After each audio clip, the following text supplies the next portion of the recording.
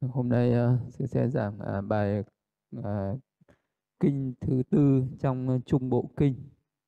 Về bài kinh này uh, là bài kinh sợ hãi và khiếp đảm. Thì, uh, đây là cái bài kinh mà uh, Đức Phật nói về uh, cái sự tu tập. Một cái người mà thường muốn uh, tu tập mà các cái pháp thiền chỉ quán thì phải đi uh, tìm một cái chú xứ phù hợp đó là ở trong rừng núi. Nhưng mà thật ra thì cái việc à, tu tập ở trong rừng sẽ có nhiều cái chướng ngại đối với một số người nhất là những cái người mà hay có cái tánh sợ hãi à, khiếp sợ tức là những cái người mà có cái tánh nhát gan. Mà đi vào trong rừng à, tu tập thì đó sẽ là một cái chướng ngại là vì tâm lý luôn luôn hoảng loạn sợ hãi à, những cái sự nguy hiểm ở trong uh, rừng. Cho nên là đây là cái bài kinh mà Đức Phật uh, nói Đức Phật cũng nói về cái bản thân uh, chính ngài khi uh, chưa đắc đạo khi ngài tu tập ngài cũng đi vào trong rừng. Và ngài cũng có những cái nỗi sợ hãi như những người bình thường khác. Và à, cái kinh nghiệm của à, ngài khi còn đang tu tập ngài đã vượt qua cái sự sợ hãi để chứng đắc các cái đạo quả như thế nào. Thì đó là cái ý nghĩa nội dung của cái bài kinh sợ hãi và kiếp đảm. À, này thì cái nội dung của bài kinh như thế này.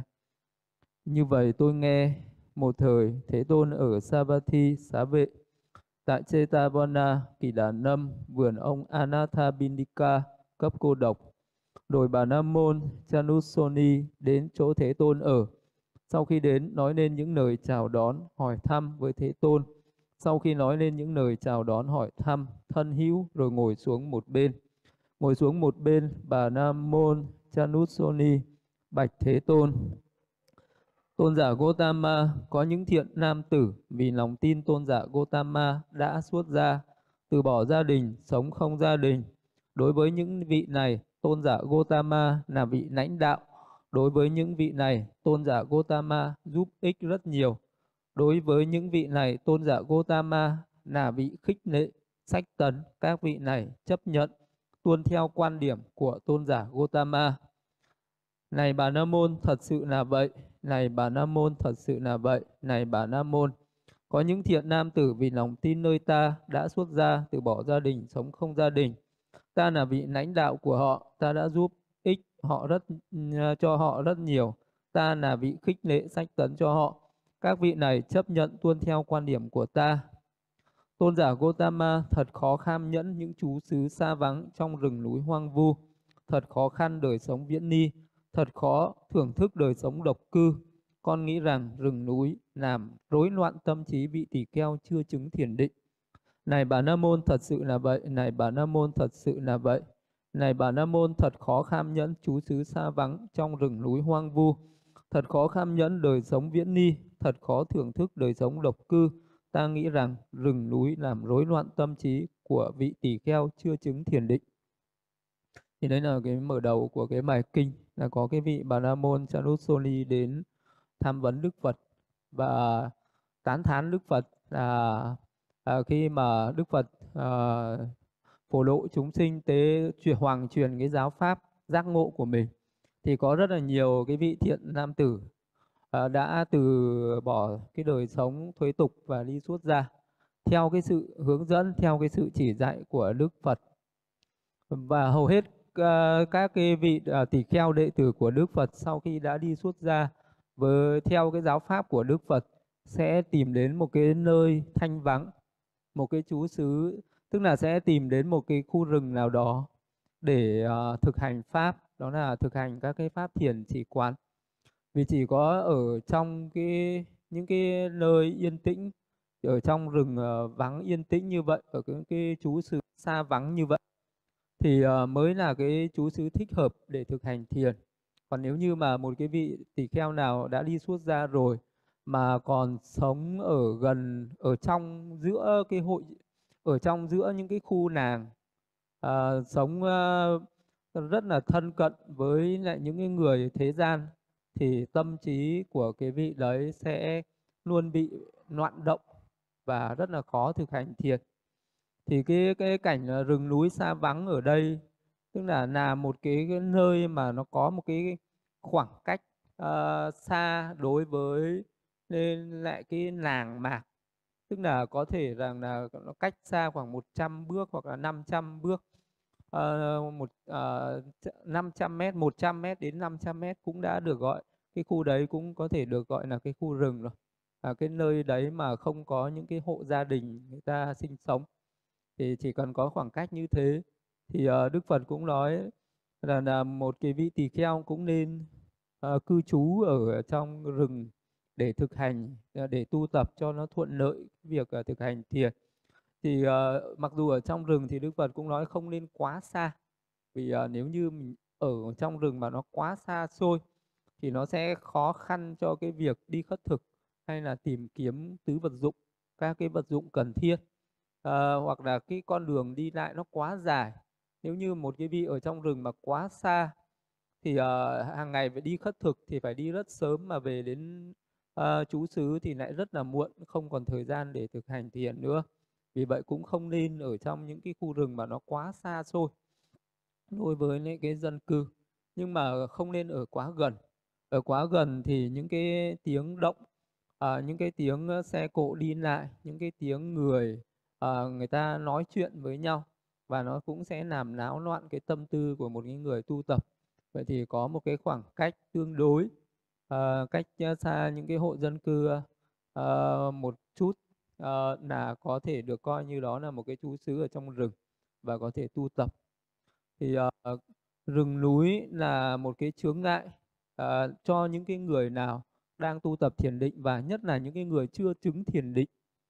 Uh, cái người nào mới tu tập mà chưa chứng thiền định thì uh, ở trong những cái nơi hoang vắng ở trong những cái nơi rừng sâu thì uh, sẽ hay có cái sự sợ hãi sẽ khởi lên à, thường hay có cái sự sợ hãi nhất là những cái người mà mình à, chưa từng sống một mình. Bởi vì à, à, theo cái giáo pháp của Đức Phật là cái đời sống tu tập là phải sống độc cư. Mặc dù ở trong rừng nhưng mà mỗi người ở một cái khu vực khác nhau chứ không phải là ở chung với nhau. Tức là không có ở hai người chung trong một cái phòng xá mà có thể là mỗi người phải ở một cái tròi lá hoặc là mỗi người một cái gốc cây hoặc mỗi người một cái hang đá hoặc là một cái khu rừng à, thanh vắng yên tĩnh như vậy. Ờ, thì ờ, mới tĩnh tâm mới hành thiền được. Nhưng mà với những cái người mà mới tu tập ấy thì ờ, hay có những cái tâm loạn tưởng. Đó là khi bắt đầu cứ nhắm mắt ngồi vào là suy nghĩ mông lung là nghĩ rằng ôi bây giờ mình đang ngồi này chẳng may có con cọp nó đến. À, thì à, mình sẽ chết mình sẽ toi mạng. À, hoặc là có những cái vị thì cứ nghĩ mông lung đến những cái loài thú dữ nó có thể tấn công mình vì ở trong rừng thì đương nhiên là sẽ có rất nhiều những cái loài thú dữ hoang dại. À, hoặc là có những cái người thì có cái tánh nhát gan đó là sợ uh, uh, ma quỷ nó sẽ uh, lại nó sẽ làm nhát mình. Và đấy cũng là một trong những cái uh, chướng ngại cho những cái người mà chưa chứng thiền định. Thì thực ra à, những cái cảnh mà nguy hiểm đấy thì nó không nhiều. Nếu như mà một cái người biết rằng ở cái khu rừng này có thú dữ à, có những cái phi nhân hung dữ thì cái vị đấy tránh đi tìm một cái khu rừng nó an toàn thì vị đó ở.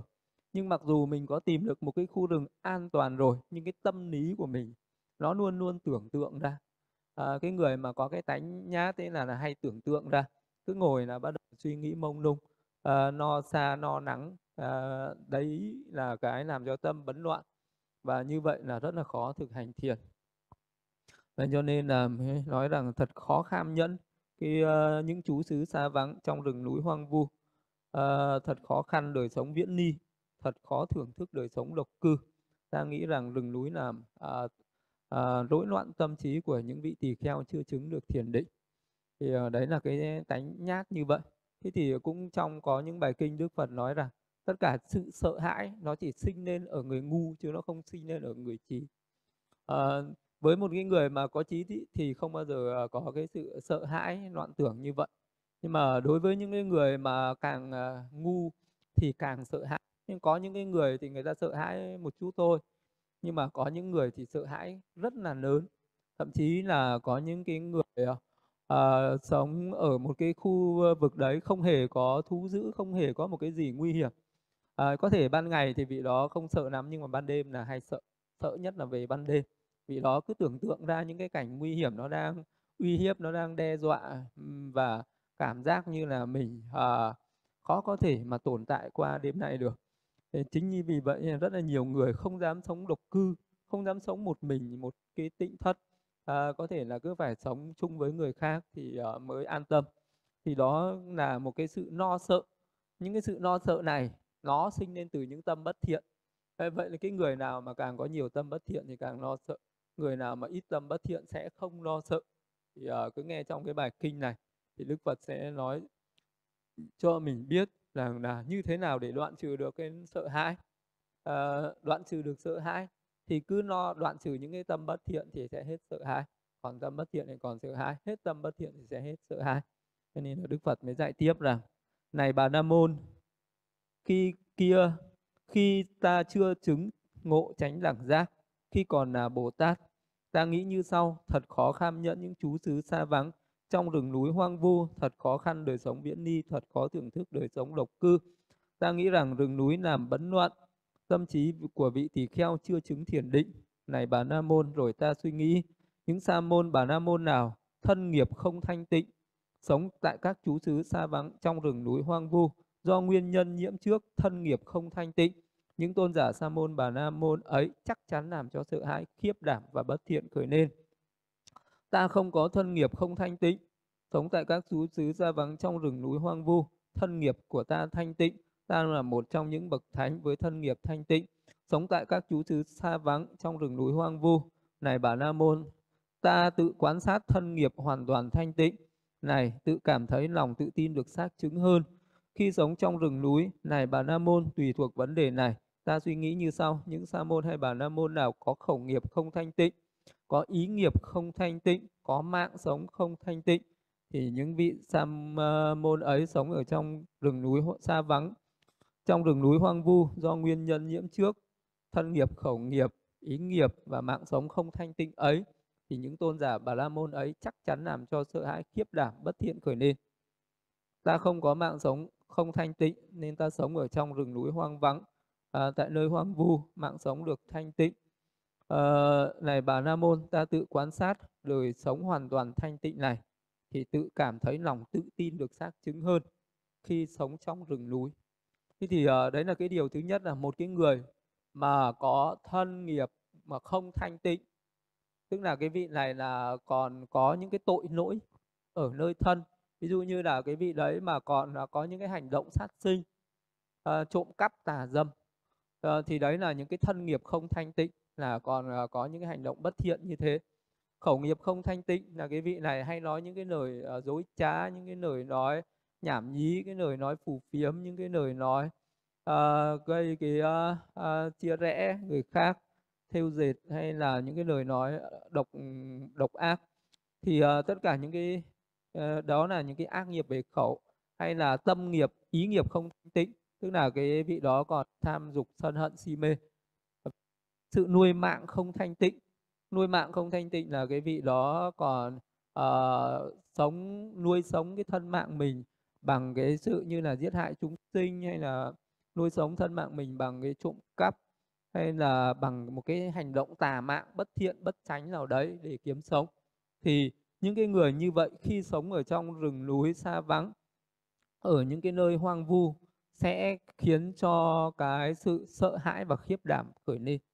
Còn nếu như mà một cái người nào mà không sát sinh, không trộm cắp, không tà dâm, không nói dối, uống rượu đấy thì những cái người đấy sẽ không sợ hãi. Sống ở trong rừng núi hoang vu, người ta rất là tự tin. Vậy thì cái người nào mà bất thiện thì cái người đấy mới không tự tin. Cái người nào mà sống lương thiện thì cái người đấy sẽ tự tin tự tin vào cái thiện nghiệp của chính mình nên là ví dụ như là một cái người mà còn sát sinh hay uh, là một cái người hay làm cái nghề sát sinh thì cái người đấy cái sát khí của cái người đó rất là mạnh.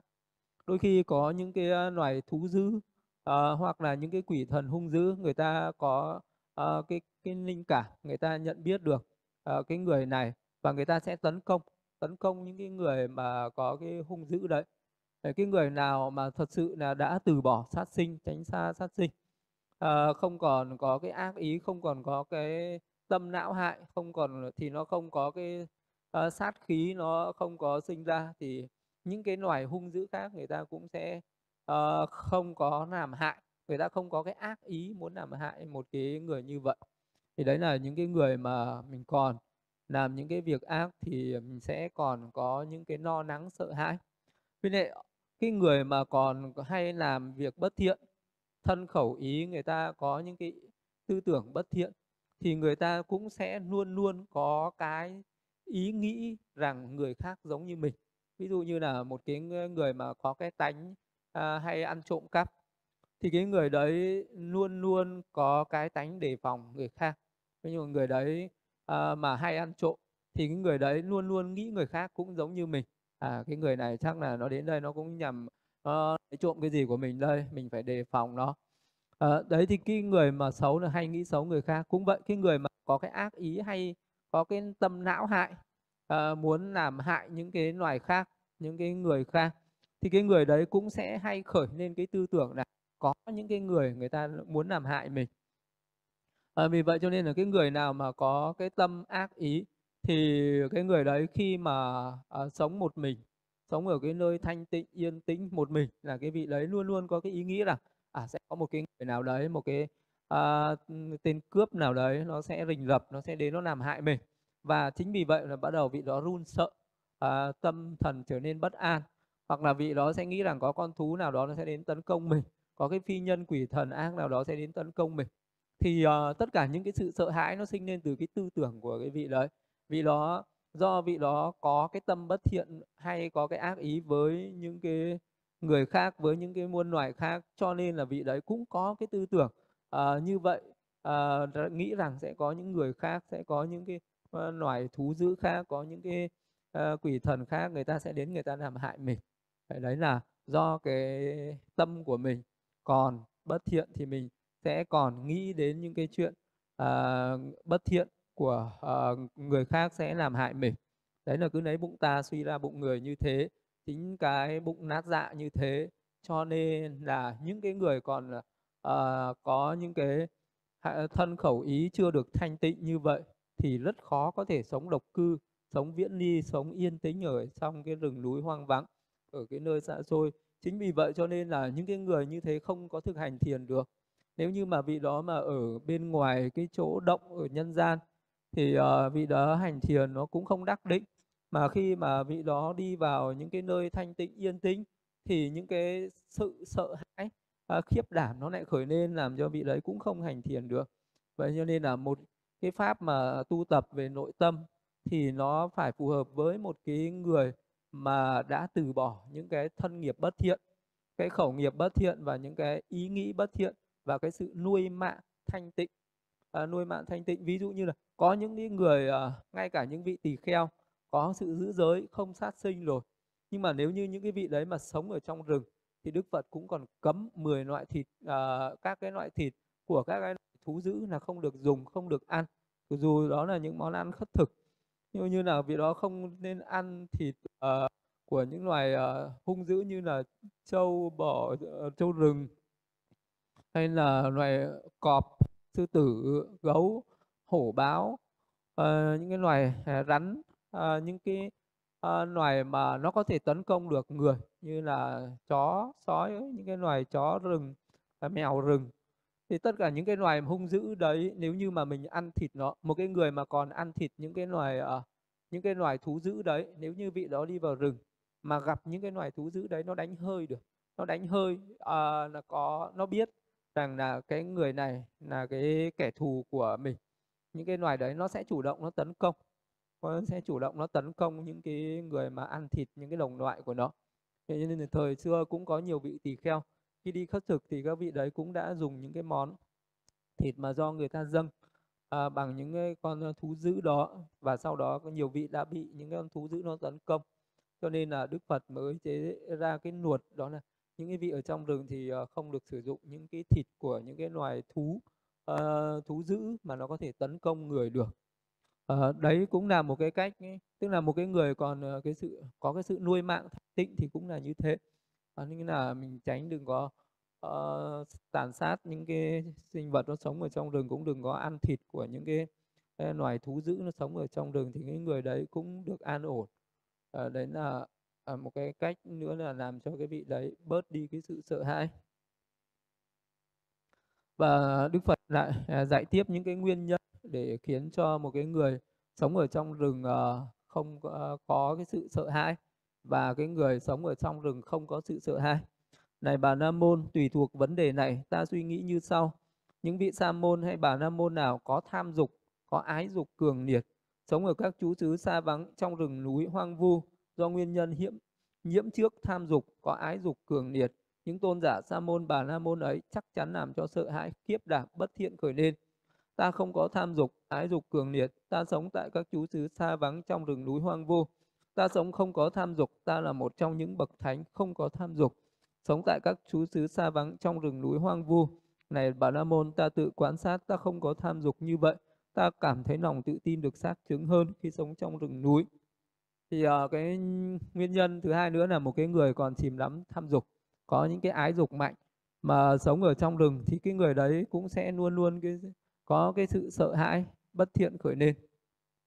Ra thì uh, có những cái uh, uh, ví dụ như là một cái người mà có cái tham ái tham ái ở đây là có thể là mình tham ái với chính mình hoặc là mình tham ái với những cái cảnh dục hoặc là mình tham ái với những cái thân bằng quyến thuộc với những cái người yêu thương. Đấy là những cái tham ái.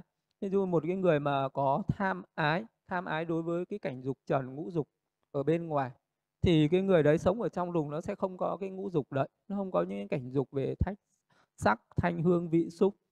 Thì cái người đấy sẽ không sống ở trong rừng nó không được thỏa mãn à, với những cái cảnh mà hưởng thụ ngũ dục cho nên vị đấy bất mãn vị đấy không hài lòng mà vị đó sẽ sợ hãi. Vì ở trong rừng không có uh, những cái cảnh sắc khả ái hấp dẫn những âm thanh khả ái hấp dẫn để cho vị đó thỏa mãn những cái tham dục đó. Hoặc là cũng có những cái người mà có cái tham ái luyến ái đối với những cái người thân. Ví dụ như là mình đi vào trong rừng núi hoang vắng. À, nhưng mà cái tâm trí của mình luôn luôn no nắng luôn luôn no nắng cho những cái người à, thân bằng quyến thuộc là không biết giờ này ở nhà người ta làm sao nhỉ? À, bắt đầu no nắng rồi ờ, chẳng may là những cái người thân yêu của mình người ta gặp những cái rủi ro tai nạn gì thì sao? Thì à, à, đấy là cái tâm lý rất là thông thường rất là thông thường của những cái người thân. À, đôi khi mình sống ngay ở nhà mình cũng vậy thôi nhưng chưa nói gì mình đi vào rừng mình sống ở trong nhà mình. À, nếu như mà có một cái người thân đi đâu vắng à, nhà một hai ngày bắt đầu tâm trí mình đã bắt đầu lan man lo sợ rồi. À, không biết là những cái người này đi phải gặp cái nguy hiểm gì trên đường đi không? À, đến giờ mà chưa thấy về ăn cơm là đã bắt đầu thấy bất an lo lắng rồi đấy là cái sự tham luyến nó đã sinh lên cái sự sợ hãi như thế. À, mà cái sự thật nó không diễn ra như vậy nhưng mà cái tâm ý của một cái người có luyến ái có tham ái hay có cái sự no nắng bất an thì cái người đấy thì cứ ngồi xuống tâm nó loạn chẳng bao giờ có thể tu tập về cái nội tâm được. Ví dụ như là bây giờ có nhiều thiền sinh mình đi đến chùa mình thực hành chẳng hạn bây giờ cứ nhớ về nhà à, vợ con ở nhà không biết có bị nguy hiểm gì không có ai đến bắt nạt không đi đường có gặp rủi ro gì không? Rồi bắt đầu đủ đủ mọi thứ bắt đầu no nắng sợ hãi. Thì đấy là những cái, cái sự sợ hãi nó sinh lên từ cái tham ái còn ờ, có những cái người không phải là mình lo cho à, người thân cũng không phải là mình lo lắng cho tài sản hay là lo lắng cho cái gì mà lại lo lắng cho chính mình. À, có những người thì quá luyến ái quá là à, sợ hãi à, đối với cái sự nguy hiểm của chính mình. Vì đó có cái tham ái với mình quá lớn thì sẽ luôn luôn có cái sự uh, đề phòng có cái sự no xa. Uh, cứ lúc nào cũng nghĩ là sẽ có cái sự nguy hiểm nào đó nó đang uh, sắp sửa diễn ra với mình đây.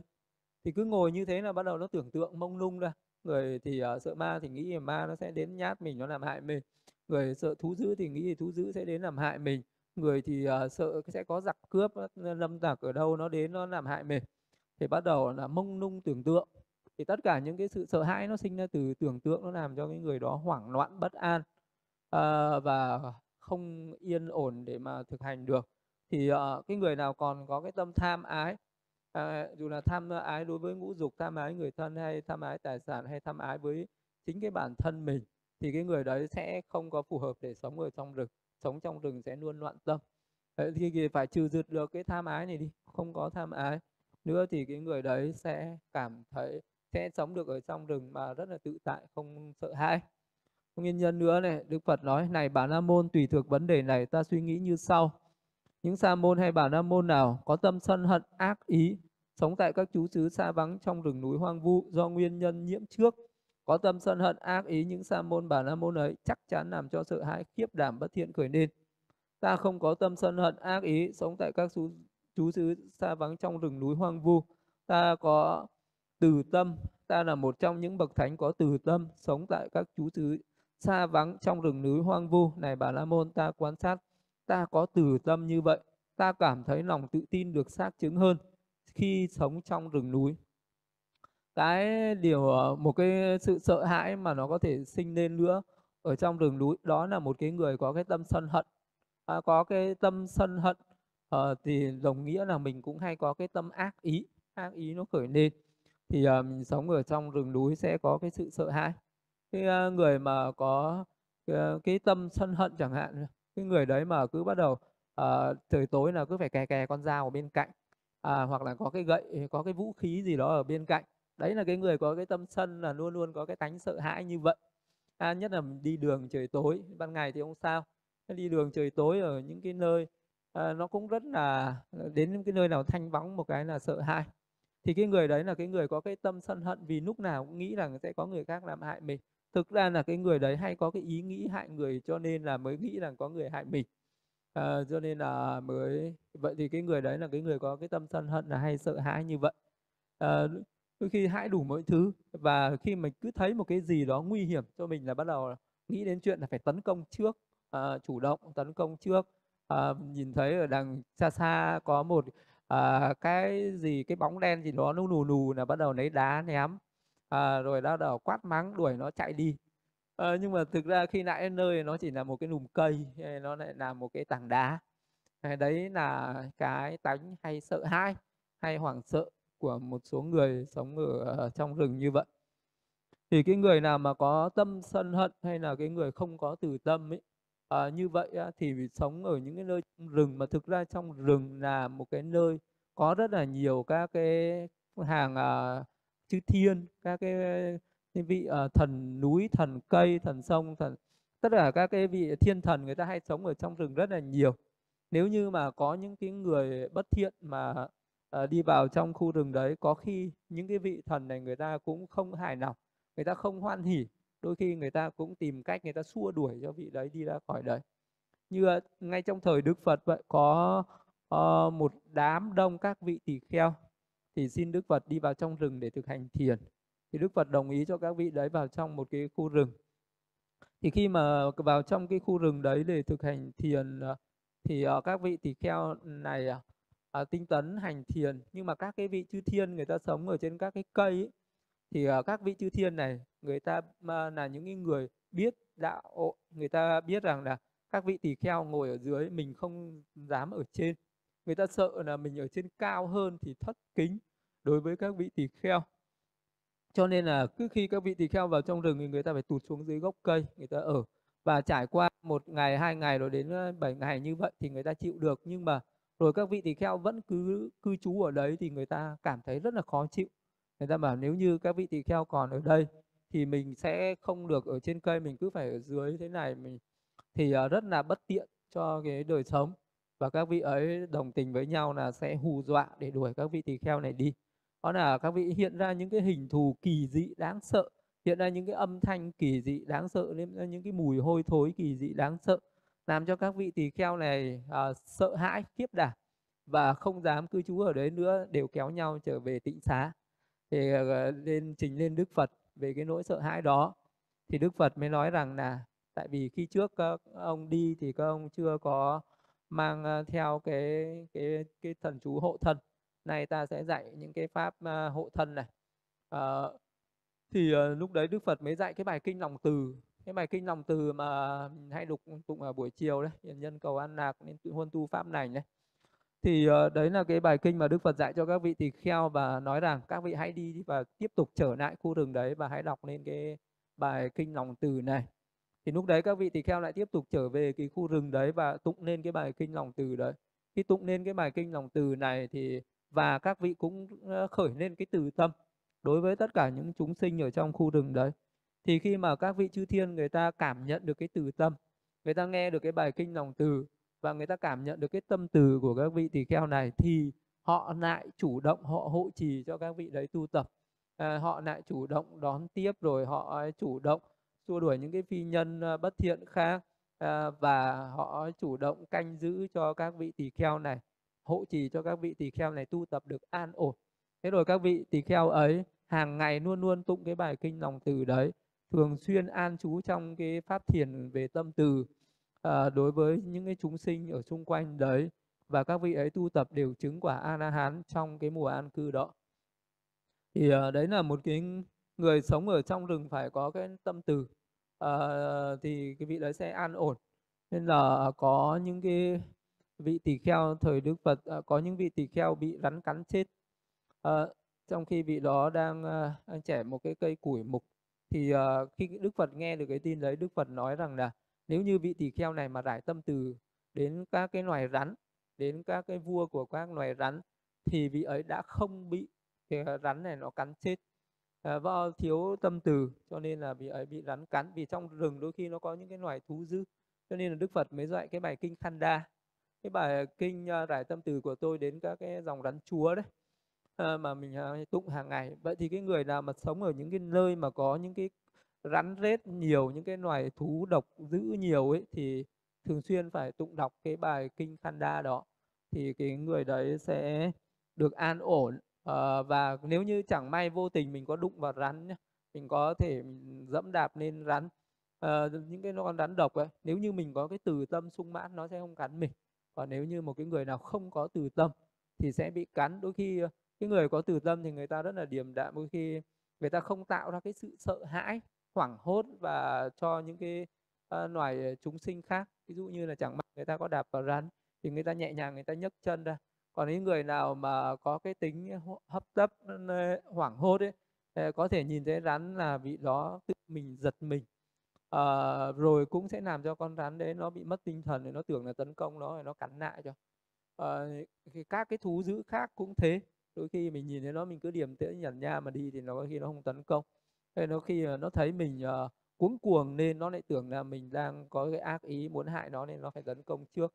À, đấy cũng là một trong những cái nguyên nhân mà cái người mà không có từ tâm thì rất là dễ gặp nguy hiểm. Còn cái người có từ tâm thì sẽ được an ổn. Vậy cái người mà muốn sống ở những cái nơi yên tĩnh ở trong uh, rừng núi hay là ở những cái cảnh uh, uh, thiền uh, ở trong những cái thiền viện mà có uh, Ờ, cũng giống như là ở trong rừng ấy, thì ờ, cũng phải như thế cũng phải có cái từ tâm như vậy thì mình sẽ được an ổn mình không có từ tâm ờ, thì mình sẽ luôn luôn gặp những cái sự sợ hãi. Hỏi Đức Phật giải tiếp này bà La Môn tùy thuộc vấn đề này ta suy nghĩ như sau. Những sa môn bà la môn nào bị hôn trầm thụy miên chi phối sống tại các chú xứ xa vắng trong rừng núi hoang vu do nguyên nhân nhiễm trước hôn trầm thụy miên chi phối những tôn giả sa môn bà la môn ấy chắc chắn sợ hãi khiếp đảm bất thiện khởi nên. Ta không có hôn trầm thụy miên cho nên à, là ta à, không có sợ hãi khiếp đảm khi sống ở trong rừng núi hoang vu. Này uh, này bà nam môn thì những sa môn bà la môn nào tâm không an tịnh sống ở các chú xứ xa vắng trong rừng núi hoang vu do nguyên nhân nhiễm trước tâm không an tịnh những tôn giả sa môn bà la môn ấy chắc chắn làm cho khiếp đảm sợ hãi khởi nên này bà la môn ta suy nghĩ như sau. Những sa môn bà la môn nào nghi hoặc à, do dự sống tại các xứ xứ xa vắng trong rừng núi hoang vu do nguyên nhân nhiễm trước nghi hoặc do dự những sa môn bà la môn ấy sẽ làm cho sợ hãi khiếp đảm trở nên. Thì ở đây uh, đức cũng dạy rằng với một cái người mà có các cái triển cái ngoài là tham dục sân hận ra mà còn có những cái triển cái là hôn trầm thụy miên tức là cái người đấy mà ngủ nhiều à, có cái tánh ham ngủ cái tánh ưa ngủ hay là hôn trầm. Thì cái người nào mà hôn trầm ngủ nhiều ấy mình sẽ thấy đôi khi mình hay bị bóng đè này hay mơ mộng uh, những cái uh, những cái đáng sợ hãi uh, hay có những ác mộng khởi lên.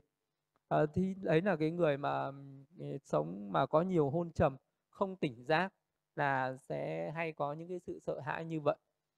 Ờ, vậy thì cái ở trong rừng ấy thì cái người nào tu tập nào cũng cần phải có cái sự tỉnh giác. Đôi khi cái người hôn trầm ờ, đấy thì ờ, có những cái người mà trong cái giấc mơ rồi mơ đến cái chuyện này chuyện kia rồi bắt đầu tỉnh dậy vẫn còn sợ. À, vẫn cứ tưởng là cái giấc mơ đấy là báo hiệu cái điểm gì đó rất là đáng sợ rất là nguy hiểm. À, cho nên là có những người sợ cả những cái vấn đề ở trong mơ thì uh, cái người nào mà ngủ ít thì sẽ ít ác mộng. Uh, còn cái người nào mà càng ngủ nhiều thì sẽ càng nhiều ác mộng. Vậy cho nên là cái nữa đó là không nên ờ, ngủ nhiều. Còn có cái người mà tâm không an tịnh tức là cái người đấy mà tâm hay hay hoảng loạn tức là tâm hay phóng dật ấy.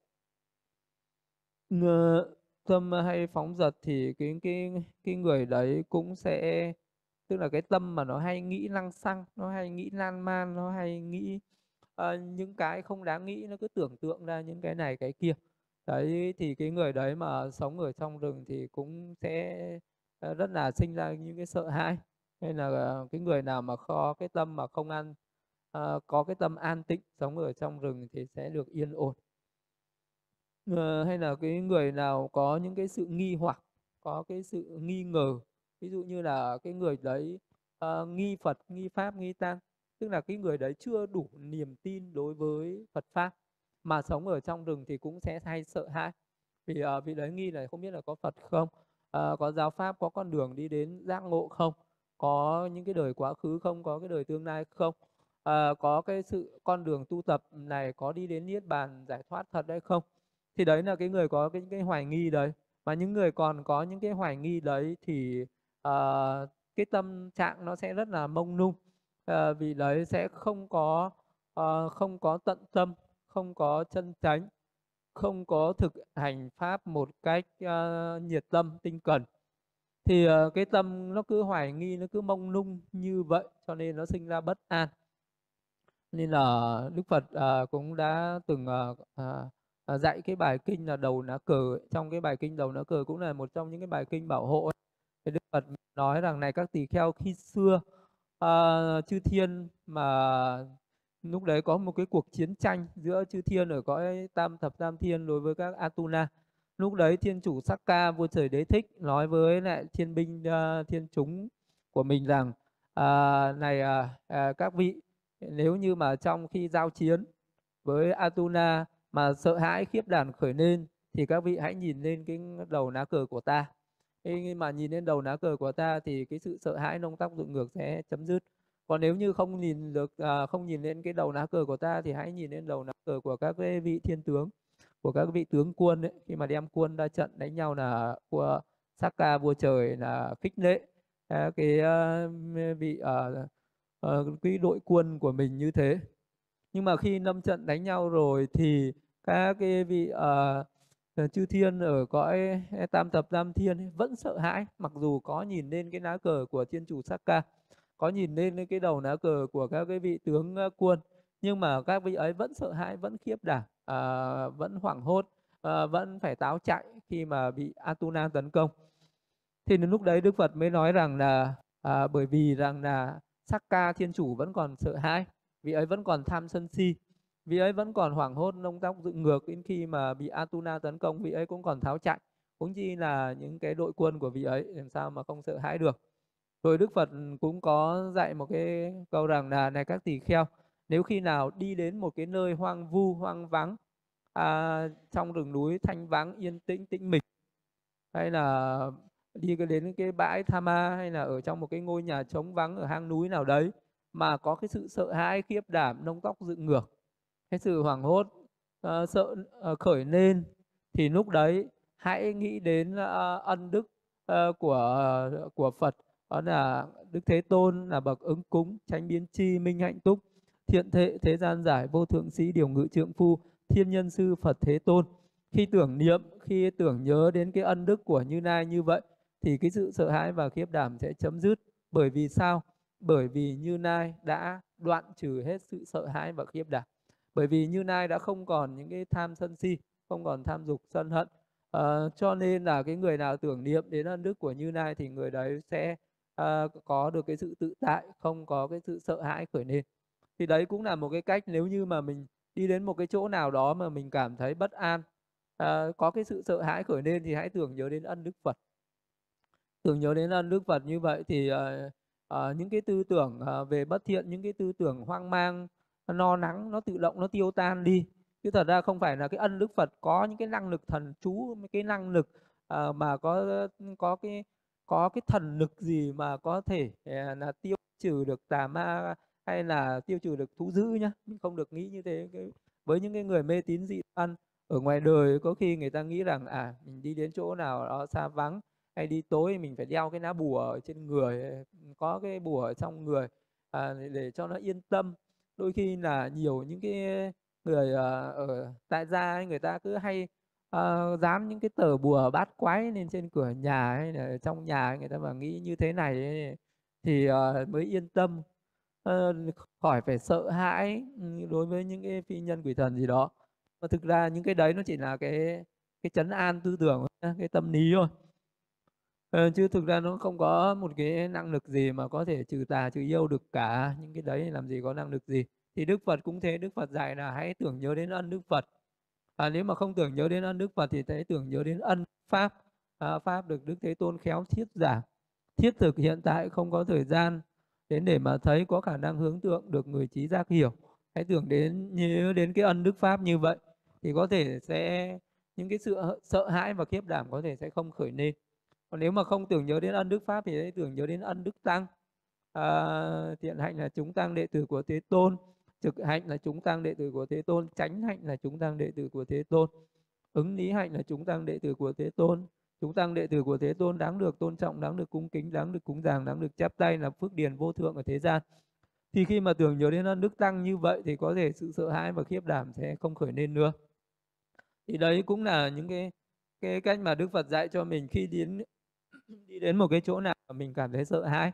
Có thể ở trong rừng cũng vậy, mình tưởng nhớ đến ân đức tam bảo Phật pháp tăng như vậy, thì à, mình cũng sẽ bớt đi những cái sự sợ hãi. Nhưng với cái người nào có cái niềm tin tuyệt đối vào Phật pháp tăng, thì tưởng nhớ đến ân Phật pháp tăng mới mới làm cho mình tiêu trừ được sợ hãi. Nhưng với một cái người nào còn hoài nghi ờ, không biết là Phật có ông pháp có ông tăng có thật sự ờ, là có cái sự ờ, giải thoát như vậy không cái người mà còn hoài nghi như vậy thì có tưởng nhớ chẳng có lợi ích gì. Hay là bắt đầu mình lại ờ, có cái niềm tin nhưng mà không có trí tuệ. Mình nghĩ rằng à cái bài này chắc là cái bài có cái năng lực uh, chú thuật gì đó có thể tiêu trừ được tai ương uh, có thể hay là diệt trừ được những cái uh, đối tượng mà mình đang sợ hãi đây. Rồi mình tụng lên cái bài chú ấy giống như là một cái năng lực thần quyền đấy mình nghĩ là cái bài thần chú này sẽ làm uh, làm tiêu diệt những cái đối tượng mình đang sợ hãi thì cái đấy là cái tâm uh, bất thiện ấy, nên nó khởi lên như vậy thì lại không có lợi ích nhá. Không có cái không mà đây là mình à, tưởng nhớ đến ân đức phật ân đức pháp ân đức tăng để cho mình hoan hỉ với cái ân đức của phật pháp tăng tam bảo để mình uh, quên đi những cái những cái tâm bất thiện rồi nếu như mà mình cứ có cái ác ý uh, mình cứ nghĩ rằng có cái năng lực thần chú nào đó tiêu diệt được những cái những cái những cái tà ma này hay là những cái Ờ, thú dữ này mình khởi lên cái tư tưởng như vậy càng sợ. À, cái người mà nghĩ rằng có những cái bùa chú nào ờ, mà có thể uh, làm uh, làm cho sợ hãi những cái những cái uh, cái tà tà ma uh, quỷ sứ nào đấy thì mình càng sợ hãi thêm chứ không bao giờ hết được sợ hãi. Mà đây là mình phải khởi lên cái tâm từ hoặc là khởi lên cái tâm mà tưởng nhớ đến ân đức tam bảo Phật pháp tăng để cho cái thiện tâm mình nó khởi lên cho cái ác tâm nó nó tiêu tan đi thì nó sẽ hết cái sợ hãi. Cái sợ hãi đấy nó chỉ sinh lên cùng với tâm bất thiện chứ nó không sinh lên cùng với tâm thiện. Để cứ lúc nào cái tâm của mình hướng thiện hướng về những cái điều cao cả chân chánh thì không có sợ hãi. Cái lúc nào mà tâm của mình khởi lên cái tâm bất thiện ví dụ tham ái tham dục khởi lên là sẽ có sợ hãi sân hận khởi lên là sẽ có sợ hãi à, hoài nghi khởi lên là sẽ có sợ hãi phóng dật khởi lên là sẽ có sợ hãi còn nếu mà không khởi lên những cái tâm đấy sẽ không sợ hãi. Đấy là cái là mình cần phải à, là gột rửa làm cho cái tâm của mình nó thanh tịnh lên thì chẳng có cái gì đáng phải sợ nữa. Thì Đức Phật cũng dạy tiếp này, bà Nam Môn, tùy thuộc vấn đề này ta suy nghĩ như sau. Những sa môn bà Nam Môn nào khen mình chê người, sống ở các chú xứ xa vắng trong rừng núi hoang vu do nguyên nhân nhiễm trước khen mình chê người. Những tôn giả sa môn bà la môn ấy chắc chắn làm cho sợ hãi, khiếp đảm bất thiện khởi lên ta không có khen mình mình chê người ta sống ở những chú xứ xa vắng trong rừng núi hoang vu. Ta không khen mình chê người không có chê người ta là một trong những bậc thánh không khen mình chê người. À, nên ta sống ở các chú xứ xa vắng trong rừng núi hoang vu. Này bà la môn ta tự quan sát tâm ta không có khen mình trên người như vậy. Ta cảm thấy lòng tự tin được xác chứng hơn khi sống ở trong rừng núi. Đấy là một cái người nào mà còn có cái tích cái tánh mà thích khen mình trên người ấy. thì ở đây là một cái người là có cái tính ngã mạn nhá có cái tính ngã mạn là ví dụ như là cái người đấy luôn luôn có cái sự tự mãn đối với lại những cái điều mà mình làm được một cái gì đó là mình tự mãn với cái điều đó. Ví dụ cái người đấy mà à, có được à, một chút giới đức à, là bắt đầu mình tự mãn là à mình à, giữ giới còn những cái người kia không giữ giới là sinh ra cái tâm ngã mạn à, tự mãn khen mình trên người. À, nhưng mà cái nhiều người ở đời người ta uh, có cái tính khen mình trên người cả những cái điều nó rất là uh, là, là, là rất là thấp kém. Ví dụ như là có những cái người người ta nghĩ rằng à mình có danh vọng hơn mình có tài sản nhiều hơn mình có nhiều lợi dưỡng nhiều hơn uh, mình có quyền lực nhiều hơn người kia. Vậy là tự nhiên sinh ra cái tự vỗ ngực tự hào khen mình chê những cái người khác không có được nhiều những cái danh vọng như mình. Thì đấy là những cái người đấy sẽ có cái tâm sợ hãi rất là lớn. Ờ, còn có những cái người mà mình tu tập ở trong rừng mà mình có được một chút ờ, một chút xíu thành quả mà mình đã tự mãn rồi thì nó cũng sẽ sợ hãi khởi lên. Ờ, hoặc là có những cái người thì tự mãn một chút về mình có ngồi thiền được một chút là mình đã hoan hỉ tự mãn, khen mình trên người. Đấy là mình sẽ có cái sự sợ hãi. Cho nên là trong cái quá trình tu tập ấy, nếu mà cái người nào tu tập mình cảm thấy mình tiến bộ à, mà mình lại nhìn bắt đầu à mình tu tốt hơn người này.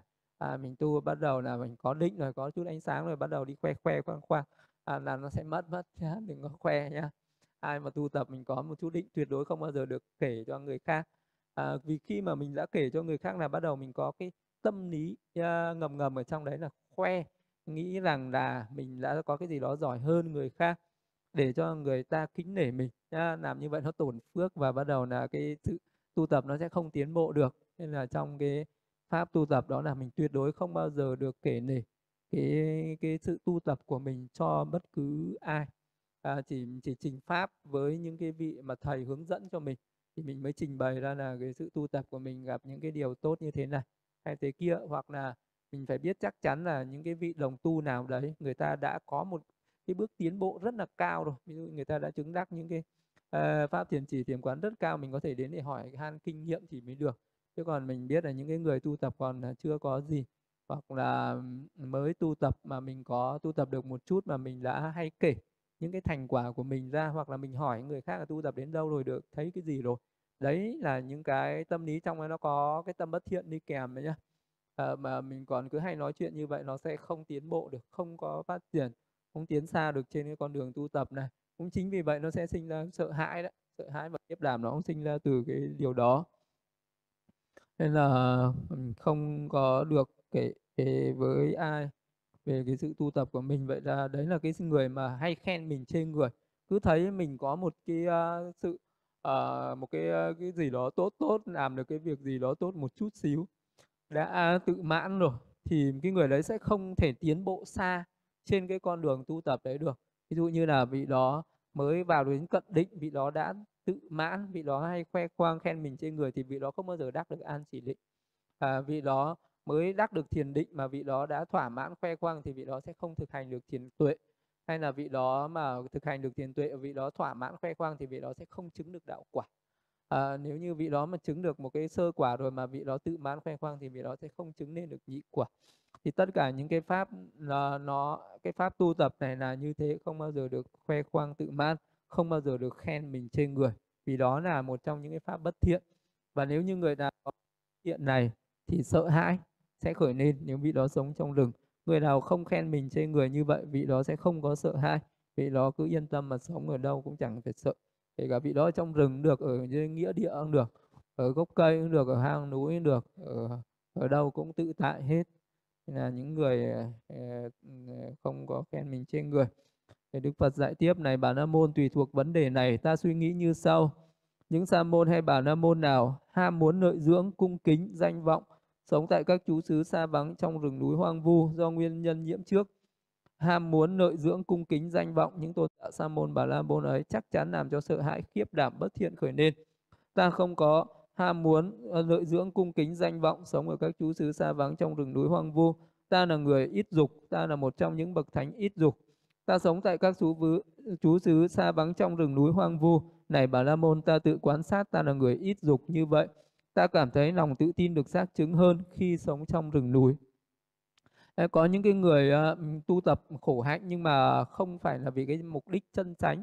Ví dụ có những người cũng đi vào rừng tu à, cũng tỏ ra ta đây là tu tập khổ hạnh. Có thể là có những người thì mặc y phấn tảo à, rất là rách rưới. Có thể là à, tu những cái hạnh đầu đà ở dưới gốc cây à, ngồi không có nằm. Nhưng mà trong tâm vị đấy luôn luôn có cái khao khát là mong rằng mọi người biết đến ta là cái người tu tập tinh tấn khổ hạnh thế này mong rằng là mọi người sẽ cung kính ta mong rằng mọi người sẽ cúng dường ta mong rằng mọi người sẽ khen ngợi ta mong rằng ta sẽ nhận được nhiều cái lợi lộc từ cái pháp tu tập này. Thì cái người nào ấy mà mình tu tập vì cái mục đích như vậy vì cái ý nghĩ như vậy mà có cái mưu đồ như vậy thì cái người ấy sẽ bị hoang tưởng sẽ bị loạn tưởng sẽ bị tán tâm à, và à, cái người mà ờ, nhất là trong cái lúc tu tập à, hành thiền mà lại cứ khởi lên cái tâm à, truy cầu mong cầu được cái danh vọng được cái lợi dưỡng được cái sự cung kính như vậy. Thì các vị chư thiên người ta sẽ biết nhá cái tâm của mình ờ, nghĩ lên ấy thì những người phàm này người ta không biết. Nhưng mà các mình khởi lên những cái mong cầu bất tránh như vậy các chư thiên người ta không biết. Đôi khi ờ, người ta sẽ sẽ hù dọa cho mình có những cái chư thiên tốt người ta sẽ cảnh cáo người ta thức tỉnh cho mình. Nhưng mà cũng có những cái chư thiên xấu người ta sẽ uh, dụ dỗ người ta làm cho mình đi sai đường làm cho mình uh, sinh ra loạn tưởng sợ hãi. Uh, đôi mình cần phải cẩn thận sống ở trong rừng là như thế. Và những cái người cứ khởi lên cái tâm tham đắm về cung kính danh vọng lợi dưỡng như vậy thì cái người đấy sẽ trở thành một cái người dối trá tức là giả vờ tu khổ hạnh như thế giả vờ tu tinh tấn giả vờ tu tập như thế để mong cầu làm sao nhận được nhiều cái sự cung kính danh vọng lợi dưỡng. À, nghĩ rằng là mình tu tập như thế này rồi mai mốt thì mình à, à, người ta sẽ cúng dường cho mình được nhiều những cái tài sản vật chất. À, để à, mình trở thành à, một cái à, à, người được cái sở hữu nhiều. À, tài sản lớn danh vọng lớn thì à, cái người đấy sẽ bị rơi vào tà rơi vào cái con đường tà. Cái con đường tu tập của cái vị đấy sẽ bị thoái lui mà vị đấy sẽ luôn luôn cảm thấy bất an cảm thấy sợ hãi ở trong lòng. Còn cái người mà sống thiểu dục có cái sự chi túc không có ham muốn biết đủ ấy, thì cái người đấy uh, cái cái đức tính đấy nó làm cho quỷ thần cũng phải kính trọng cũng phải kính sợ cũng phải tán dương. Uh, và cái vị đấy sống sẽ được cái sự chân tránh của các vị chư thiên. Uh, thì uh, và bản thân vị đó có cái sự tự tin. Uh, còn uh, nếu như vị đó là người bất tránh à, vị đó có thể lừa gạt được những người ngu nhưng mà vị đó không lừa gạt được chính bản thân mình. Chính cái tâm của vị đấy cũng cảm thấy rụt rè cảm thấy hoang mang cảm thấy sợ hãi cảm thấy mất tự tin. Ngay khi mà vị đấy đối trước ban phật vị đó cũng cảm thấy nó mất tự tin rồi. À, rồi là vị đó không có cái sự tự tin khi mà vị đó biết rằng ở trong khu rừng này linh thiêng có nhiều thiên thần đang cư ngụ thì vị đó lại càng cảm thấy mình là một cái người tội lỗi và vị đó càng cảm đã sợ hãi nữa. Thì đây là một cái người không có cái sự à, tham đắm thì mới an ổn sống ở trong rừng núi. Để Đức Phật dạy nữa này bà Nam Môn tùy thuộc vấn đề này ta suy nghĩ như sau. Những sa môn nào biếng nhác kém tinh tấn sống ở trong rừng núi xa vắng à, nơi hoang vu do nguyên nhân nhiễm trước cái sự biếng nhác kém tinh tấn à, thì cái sự sợ hãi sẽ khởi lên. Này bà Nam Môn ta suy nghĩ như sau. Những sa môn nào thất niệm không tỉnh giác sống ở các cái chú xứ xa vắng trong rừng núi hoang vu à, do cái sự thất niệm không tỉnh giác đấy thì sự sợ hãi sẽ khởi lên này bà la môn à, ta suy nghĩ như sau. Những sa môn nào không định tính bị à, tâm tán loạn sống ở các chú xứ xa vắng trong rừng núi hoang vu thì sự sợ hãi sẽ khởi lên. Thì ở đây à, một cái người lười biếng nữa cũng sẽ sợ hãi. Người lười biếng là không có tinh tấn thì cái vị đó có thể là sống ở trong rừng nhưng mà vị đó cứ ham chơi à, cứ à, ngủ nghỉ cứ sống ở trong rừng vì cái mục đích ngủ nghỉ thôi thì uh, cái vị đấy sẽ cảm thấy nó nhàm chán. Không ở trong rừng mà không vì cái mục đích tu tập ấy hay là cái người nào mà sống ở trong chùa cũng thế giống chùa cũng là một cái nơi gọi là ở trong một cái nơi cũng thuộc về giống như ở trong rừng vậy. Mà vì không tinh tấn là sẽ cảm thấy chán luôn cảm thấy cái đời sống uh, ở trong rừng nó không có cái niềm vui gì hết và cái vị đó sẽ trở nên chán nản bất mãn tinh thần bắt đầu mới sinh ra những cái loạn tưởng, sợ hãi, khởi lên. Và những cái người nào thất niệm, không tỉnh giác, tức là cái người nào mà không có chánh niệm, không có chánh niệm, tức là cái người đấy không có nhiệt tâm tinh cần để tu tập một cái pháp môn. Ví dụ như là cái người nào người ta có chánh niệm, đi đứng nằm ngồi thì người ta luôn luôn chú trên cái pháp thiền, chú trên hơi thở hay là chú trên cái pháp mà mình đang tu tập ấy, thì cái vị đấy sẽ an ổn. Còn cái vị nào mà không có cái chánh niệm đấy thì cái vị đấy cũng bất an. Hay là những cái người nào có những cái tâm lý tán loạn à, những cái người nào có những cái tâm lý bất an sợ hãi tán loạn ấy thì cái người đấy cũng sẽ sợ cũng cũng sẽ cảm thấy sợ hãi. Nên là à, một cái người mà tu tập thì cũng giống như là một cái khúc gỗ. Một cái khúc gỗ mà nếu như mà mình vứt ở dưới sông ấy, ở dưới nước ờ, rồi thì cái khúc gỗ ấy nó bị thấm nhuần bởi nước. Và nếu như mà mình có đem đi châm lửa đốt nó sẽ không cháy được. À, cũng như vậy thế thì cái khúc gỗ đấy cần phải được vớt lên trên bờ để ở nơi khô ráo mình mới có thể đốt cháy được. Cũng như thế một cái người mà mình sống ở những cái nơi ô nhiễm ồn ào ở trong những cái phố phường ở những cái nơi mà có nhiều những cái cảnh náo nộn náo động ấy, thì mình cũng không có thực hành thiền tĩnh tâm được. Cho nên mình cần phải vào rừng. Ờ, cần phải vào rừng cũng như vậy. Thì cũng giống như thanh gỗ ở dưới nước không bốc cháy được cần phải vớt lên bờ. Nhưng vậy khi thanh gỗ đấy được vớt lên bờ rồi nhưng mà trong nó vẫn còn uh, vẫn còn ngấm nước nó chưa khô hẳn nhé nó vẫn còn ngấm nước ở bên trong ấy thì uh, mình có châm lửa nó cũng không cháy. Cũng như vậy với một cái người nào uh, sống ở nơi ồn ào mà không hành thiền được mình cần phải đến rừng uh, đến cái nơi yên tĩnh để tu tập nhưng khi mình đến cái nơi yên tĩnh rồi cái tâm của mình nó vẫn còn bị ô nhiễm nó chưa dứt ra được những cái ô nhiễm ở thế tục. À, vì vậy cho nên là tâm của mình nó vẫn còn tán loạn nó vẫn còn năng sang nó vẫn còn có những cái sự lười biếng ấy. Thì uh, cái lúc đấy mình có tu nó cũng không không thành tựu được. Vậy thì uh, nó cần phải có hai mặt đó là thân viễn ni và tâm viễn ni thì mới có thể uh, an ổn mà tu tập được. Thân viễn ni là mình uh, tránh xa những cái nơi ờ, ồn ào mình đến những cái nơi thanh vắng đấy là thân viễn ni. Rồi cái bước thứ hai là tâm viễn ni là mình phải để cho tâm của mình nó xa lìa nó không tưởng nhớ đến những cái à, những cái được mất hơn thua khen chê yêu ghét nữa. À, mình phải buông xả được nó đi. Khi mà đã ví dụ như mình à, đến à, mình tham dự một cái khóa thiền à, ở ờ, thiền viện như thế này rồi nhưng mà tâm của mình toàn nghĩ về chuyện công việc, toàn nghĩ về chuyện nhà cửa, toàn nghĩ về chuyện làm ăn. Đấy là thân mình đã viễn đi, nhưng tâm chưa viễn đi. Nó giống như là một cái thanh gỗ đã vớt lên khỏi nước rồi, lên chỗ khô ráo rồi, nhưng trong nó vẫn còn ngấm nước. Bây giờ cần phải vắt hết cái nước đấy ra làm cho nó khô kiệt hết thì châm lửa nó mới cháy. Cũng như vậy, nếu mà cái tâm của mình nó phải xa lìa được ở những cái những cái hỗn loạn ở thế gian, đó là những cái được mất khen chê hơn thua yêu ghét ở thế gian rồi ấy, thì nó mới tịch tĩnh nó mới nặng nẽ thì nó mới chú được vào cái pháp thiền và nó mới có thể phát ra được cái tự tướng thì mình mới có thể đắc định được. Đấy là sống ở trong rừng là cũng phải thế thân viễn ni tâm viễn ni thì nó mới bình yên được. Rồi tiếp nữa là này bà nam môn ta suy nghĩ như sau những sa môn hay bà nam môn nào đần độn liệt tuệ sống ở cái chú xứ xa vắng trong rừng núi hoang vu thì sự sợ hãi và khiếp đảm sẽ khởi lên này bà la môn ta suy nghĩ như sau à, trong những đêm được biết đến được xác định đêm 14 10 năm đêm mồng 8 nửa tháng trong những đêm như vậy, ta hãy đến ở các chú xứ hãi hùng, nông tóc dựng ngược, như tự miếu các thảo viên, tự miếu các rừng núi, tự miếu tại các cây cối, để ta có thể thấy sự sợ hãi khiếp đảm ấy. Này đã bà Nam Môn sau một thời gian, những đêm được biết đến được xác định, đêm 14, đêm 15, đêm mồng 8 mỗi nửa tháng. Trong những đêm ấy ta ở các chú xứ uh, hãi hùng nông tắc dựng ngược như vậy, như tự miếu tại các thảo viên, uh, tự miếu tại các rừng núi tự miếu tại các cây cối này bản a môn trong khi ta ở tại các chỗ ấy một con thú có thể đến hay một con công có thể làm rơi một cành cây hay gió làm rung động một cái lá ta khởi lên ý nghĩ này sự sợ hãi khiếp đảm ấy đã đến.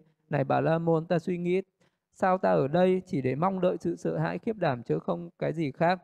Trong bất cứ hành vi cử chỉ nào của ta mà sự sợ hãi khiếp đảm ấy đến, trong hành vi cử chỉ ấy, ta trừ diệt sự sợ hãi khiếp đảm ấy. Này bà la môn, trong khi ta đi kinh hành, đi qua lại sự sợ hãi khiếp đảm ấy đến, thì này bà la môn, ta không ngồi, ta không làm ta trừ diệt sự sự sợ hãi khiếp đảm ấy trong khi ta đang đi qua lại à, khi khi ta đang đứng mà sự sợ hãi cái khiếp đảm ấy đến thì ta sẽ trừ diệt sự sợ hãi khiếp đảm ấy khi ta đang đứng. Khi ta đang ngồi mà sự sợ hãi khiếp đảm ấy đến thì ta sẽ trừ sợ sợ hãi khiếp đảm ấy khi ta đang đứng. Hay khi ta đang nằm mà có cái sự sợ hãi khiếp đảm ấy đến thì ta sẽ nằm mà sự, trừ diệt cái sự sợ hãi khiếp đảm đấy. Đây là cái cách mà đức phật trừ diệt cái sự sợ hãi khiếp đảm. Thì ờ, với một cái người mà ngu si ờ, đần độn nhiệt tuệ sống ở trong rừng thì cái người đấy đương nhiên là là sợ hãi. Cái người ngu si thì có thể đó là một cái người không có trí tuệ cho nên hay tưởng tượng mông lung. Cũng có thể người ngu si đấy là một cái người có cái ác tâm cho nên là hay sợ những cái điều ờ, nguy hiểm. À, thì sống ở trong rừng cũng sợ hãi. Còn một cái người có trí tuệ à, hay là cái người đấy có cái thiện tâm hay là cái người đấy có cái sự tự tin vào cái tâm uh, uh, chân chánh hiển thiện của chính mình thì người đấy sẽ không sợ hãi nhưng nếu đây là một cái cách mà đức phật dạy nữa đó là diệt trừ cái sự sợ hãi bằng cách đối diện với cái sự sợ hãi đó. Mình sợ hãi cái gì thì bây giờ mình đối diện với cái đó. À, đây là những cái sự sợ hãi sự hãi về những cái quỷ thần ma quái đấy. Thì à, là à, như à, đức phật nói rằng vào những cái đêm rằm mồng 8 hay ba đấy là những cái ngày được gọi là ninh thiêng ở thế gian. À, thì những cái ngày đấy đức phật trực tiếp đi đến những cái khu miếu à, lúc đấy là đức phật chưa thành phật lúc đấy ngài mới là bồ tát. Ngài trực tiếp đi đến những cái khu miếu mà người ta thờ tự đấy. À, những cái miếu hoang ở trong rừng ở dưới gốc cây người ta thờ những cái vị thần đấy. Thì à, ngài trực tiếp đi đến đấy ngài à, sẽ sống ở đấy ngài sẽ cư ngụ ở đấy ngài sẽ ngồi thiền ở đấy. À, xem nào sự sợ hãi kiếp đảm nó có đến không? Nếu như mà sự sợ hãi kiếp đảm ấy nó đến thì ngài sẽ trừ diệt cái sự sợ hãi kiếp đảm đấy. Đang đi uh, đang đứng đang nằm đang ngồi mà sự sợ hãi khiếp đảm ấy đến thì hãy trừ diệt hãy buông bỏ nó. Và lúc đấy mình nghĩ rằng ta không phải đến đây để chờ đợi cái sự sợ hãi khiếp đảm này. Tại sao ta không chờ đợi một cái gì khác? Đó là một cái không sợ hãi khiếp đảm. Đấy là một cái cách uh, mà vị đấy uh, có thể đối diện lại với cái sự sợ hãi đấy. Để chấm dứt cái sự sợ hãi đấy không làm cho nó khởi lên trong tương lai nữa. Uh, một cái người bây giờ mình dám uh, đến những cái nơi hoang vắng cái nơi sợ hãi đấy mình cư trú ở đấy một đêm hai đêm mình sẽ cảm thấy không có cái gì gây nguy hiểm cho mình. Ừ, tự nhiên mình sẽ hết không còn sợ hãi nữa. Vậy cái người nào á, mình có cái tính hay hãi tối mình không dám ở một mình ấy không dám ngủ một mình một phòng thì bây giờ à, cái mình trừ diệt nó bằng cái cách đó là mình hãy ngủ một mình. À, thì à, à, vài hôm sau nó sẽ hết ngay. Và sau này mình sẽ ơn ngủ một mình có sao đâu. À, có nguy hiểm gì đâu sáng ra mình vẫn sống đâu có chết đâu mà no. Đấy là một cái cách mình trừ được cái sự sợ ở một mình. Rồi khi ở một mình đã thành công rồi mình sẽ nghĩ là ta sẽ ở dưới gốc cây hoặc là ở một cái nơi nào đấy thanh vắng à, tránh xa mọi người. Chẳng hạn ờ, rồi mình hãy thực hành như thế vài hôm là mình sẽ thấy quen nhưng mà ở mình đến cái chơi này ở mình có đâu có sao đâu. Hoặc là một cái người nào mà rất là sợ tối nhát gan cứ đi trong đêm tối là sợ hãi thì cái có một cái cách làm cho vị đó uh, hết sợ tối nhanh nhất đó là vị đó có thể ra nghĩa địa à, vị đó có thể cư ngụ ở đó một đêm. À, vị đó có thể đi đứng nằm ngồi ngồi thiền hoặc ngủ luôn ở đấy cũng được. À, nhiều người bạo gan có thể nằm ngay lên trên cái tấm mồ nào đấy êm ả nhất đẹp đẽ nhất ngủ một giấc. Hoặc là đem cái mùng thiền ra đấy ngồi thiền xong nằm ngủ ngay tại đấy. Sáng hôm sau tỉnh dậy mình sẽ thấy vẫn sống bình thường không ai làm hại mình hết. Và đó cũng là cái cách là mình sẽ hết sự sợ hãi khiếp đảm. Thì chính là cái cách mà à, Đức Phật đã thực hành khi mà ngài mới vào trong rừng tu tập này ngài đang à, tu hạnh bồ tát này. Ngài thấy sợ cái gì thì giờ đối diện với cái đấy. Sợ hãi những cái nơi khu miếu ở trong rừng ở gốc cây thì bây giờ đến luôn đấy ở luôn đấy. À, cư ngụ luôn ở đấy thế là hết và sẽ không còn phải sợ sợ hãi nữa. Đấy là cái cách mà làm cho mình hết sợ hãi khiếp đảm á. Nếu như người ta cứ nói là ở cái chỗ này nó có ma có ma dọa dọa nhau ấy mà mình là cái người nhát gan mình đến đấy mình ở một đêm xem. Hết luôn lần sau chẳng ai dám dọa mình nữa biết mình là một cái người tự tin. Nhưng mà nhớ là một cái người đấy phải là một cái người rất tự tin về mình, không có tham dục, không có sân hận, không có hôn trầm thụy miên, không có những ác nghiệp về thân khẩu ý ờ, không có những cái tâm ờ, bất thiện, hoang mang, tán loạn đấy. Ờ, mình rất là tự tin về chính mình rồi thì hãng làm như vậy. Còn những người nào mà chưa tự tin, mình làm cái điều đó, có thể chỉ là một cái lá cây nó rơi xuống, mình đã hoảng loạn lên rồi, có thể mình đã ngất xỉu ngay đấy rồi. À, có thể là một con chim nó ở trên cành cây nó vỗ cánh hoặc nó kêu một cái tiếng kêu oác oác nào đấy mình lại tưởng là à, có một cái gì đó nguy hiểm đến mình là có thể mình đã xỉu ngay tại đó rồi ha. à, đấy là có những cái sự sợ hãi nó khởi nên là mình phải trừ diệt nó như vậy. Thì uh, Đức Phật dạy là này bà Nam môn uh, giống uh, này bà Nam môn có một số sa môn bà Nam môn nghĩ rằng ngày giống như đêm, đêm giống như ngày. À, như vậy ta nói rằng những vị sa môn bà la môn ấy sống trong si ám.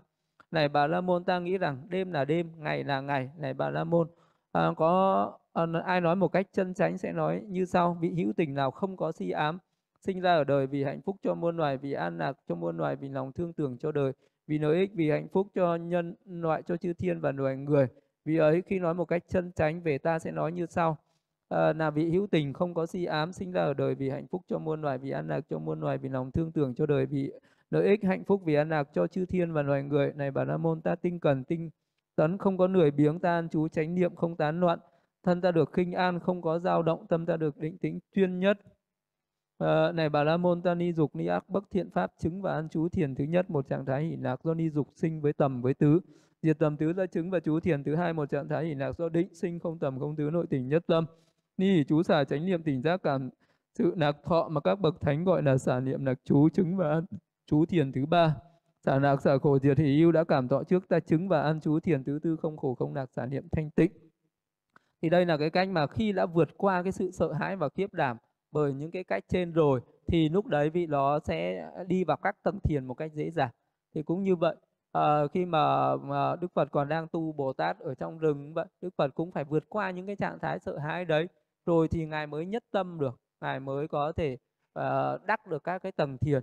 Uh, chú được vào các cái tầng thiền thì bắt đầu mới tu tập và sau đó mới đi đến sự chứng ngộ và đi đến cái sự chứng ác chứng đắc các cái đạo uh, các cái pháp thiền và các cái đạo quả. Vậy cho nên là có rất là nhiều người uh, mình tu tập luôn luôn gặp một cái sự chướng ngại đó là sự sợ hãi. Sợ hãi mình không dám uh, mình uh, không dám uh, tu tập ở những cái nơi thanh tĩnh yên tĩnh tức là không dám sống độc cư không dám ở một mình hoặc là khi ở một mình lại không dám ngồi thiền. Vì cái lúc đấy là cái tâm à, hoặc là khi ngồi thiền là tâm nó cứ sợ hãi nan man à, hoang mang bất an ấy thì mình cần phải trừ diệt cái sự sợ hãi đấy. Bằng cái cách này hay cách khác để dứt cái sự sợ hãi đấy đi. Đừng có sợ hãi gì cả chẳng có ai làm hại mình hết mà chỉ là do cái tâm của mình sợ hãi vậy thôi. Nên là cái sự sợ hãi đấy là do cái tưởng của mình hoặc là do cái tâm bất thiện của mình. Thế một cái người mà diệt được những cái tâm bất thiện đấy đi thì sẽ hết sợ hãi. Thì sau đó thì tu tập sẽ chứng đắc được các cái tầng thiền. Còn nếu một cái người nào còn sợ hãi thì đó là một cái chướng ngại. Ví dụ như là có những người nói là đêm không ngủ được, có thể là do mình sợ quá ngủ không được. Hoặc là có những người ngủ không được nhưng mà ngồi thiền đấy cũng sợ. À, ngủ không được thì ngồi thiền đúng không Càng ngủ ít thì càng tốt. Thì càng có nhiều thời gian để mà ngồi thiền. Ngồi thiền uh, trong à, đêm yên tĩnh, thanh tịnh, vắng vẻ như thế thì càng dễ dàng chứng đắc thiền thì có sao đâu thì lúc này ờ, ờ, Đức Phật cũng tu tập cũng thế. Lúc mới tu tập ngài cũng rất là sợ hãi nhưng mà ngài tự suy xét lại những cái đức hạnh của mình.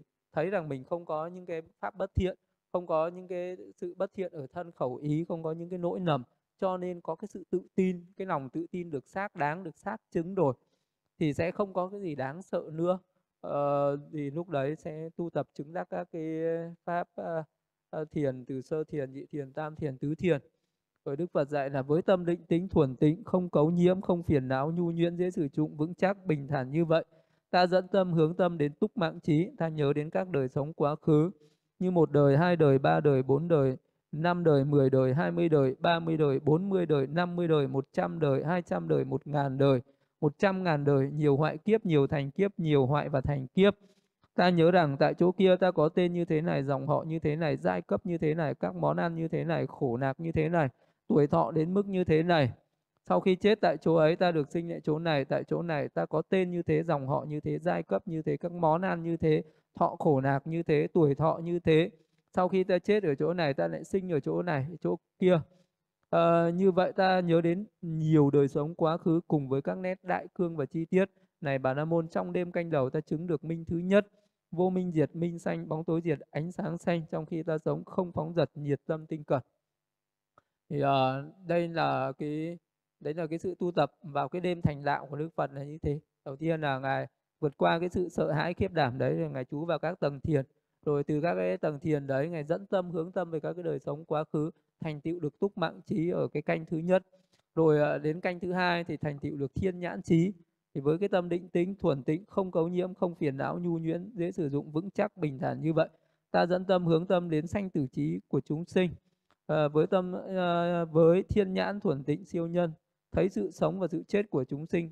Ta tuệ chi rằng chúng sinh người hạn liệt kẻ cao sang người đẹp đẽ kẻ thô xấu người man mắn kẻ bất hạnh đều do hạnh nghiệp của họ. Những chúng sinh làm các ác nghiệp về thân ác nghiệp về lời nói ác nghiệp về ý phỉ báng các bậc thánh theo tà kiến tạo các nghiệp theo tà kiến. Những người ấy sau khi thân hoại mạng chung phải sinh vào cõi giữ ác thú đoạn xứ địa ngục.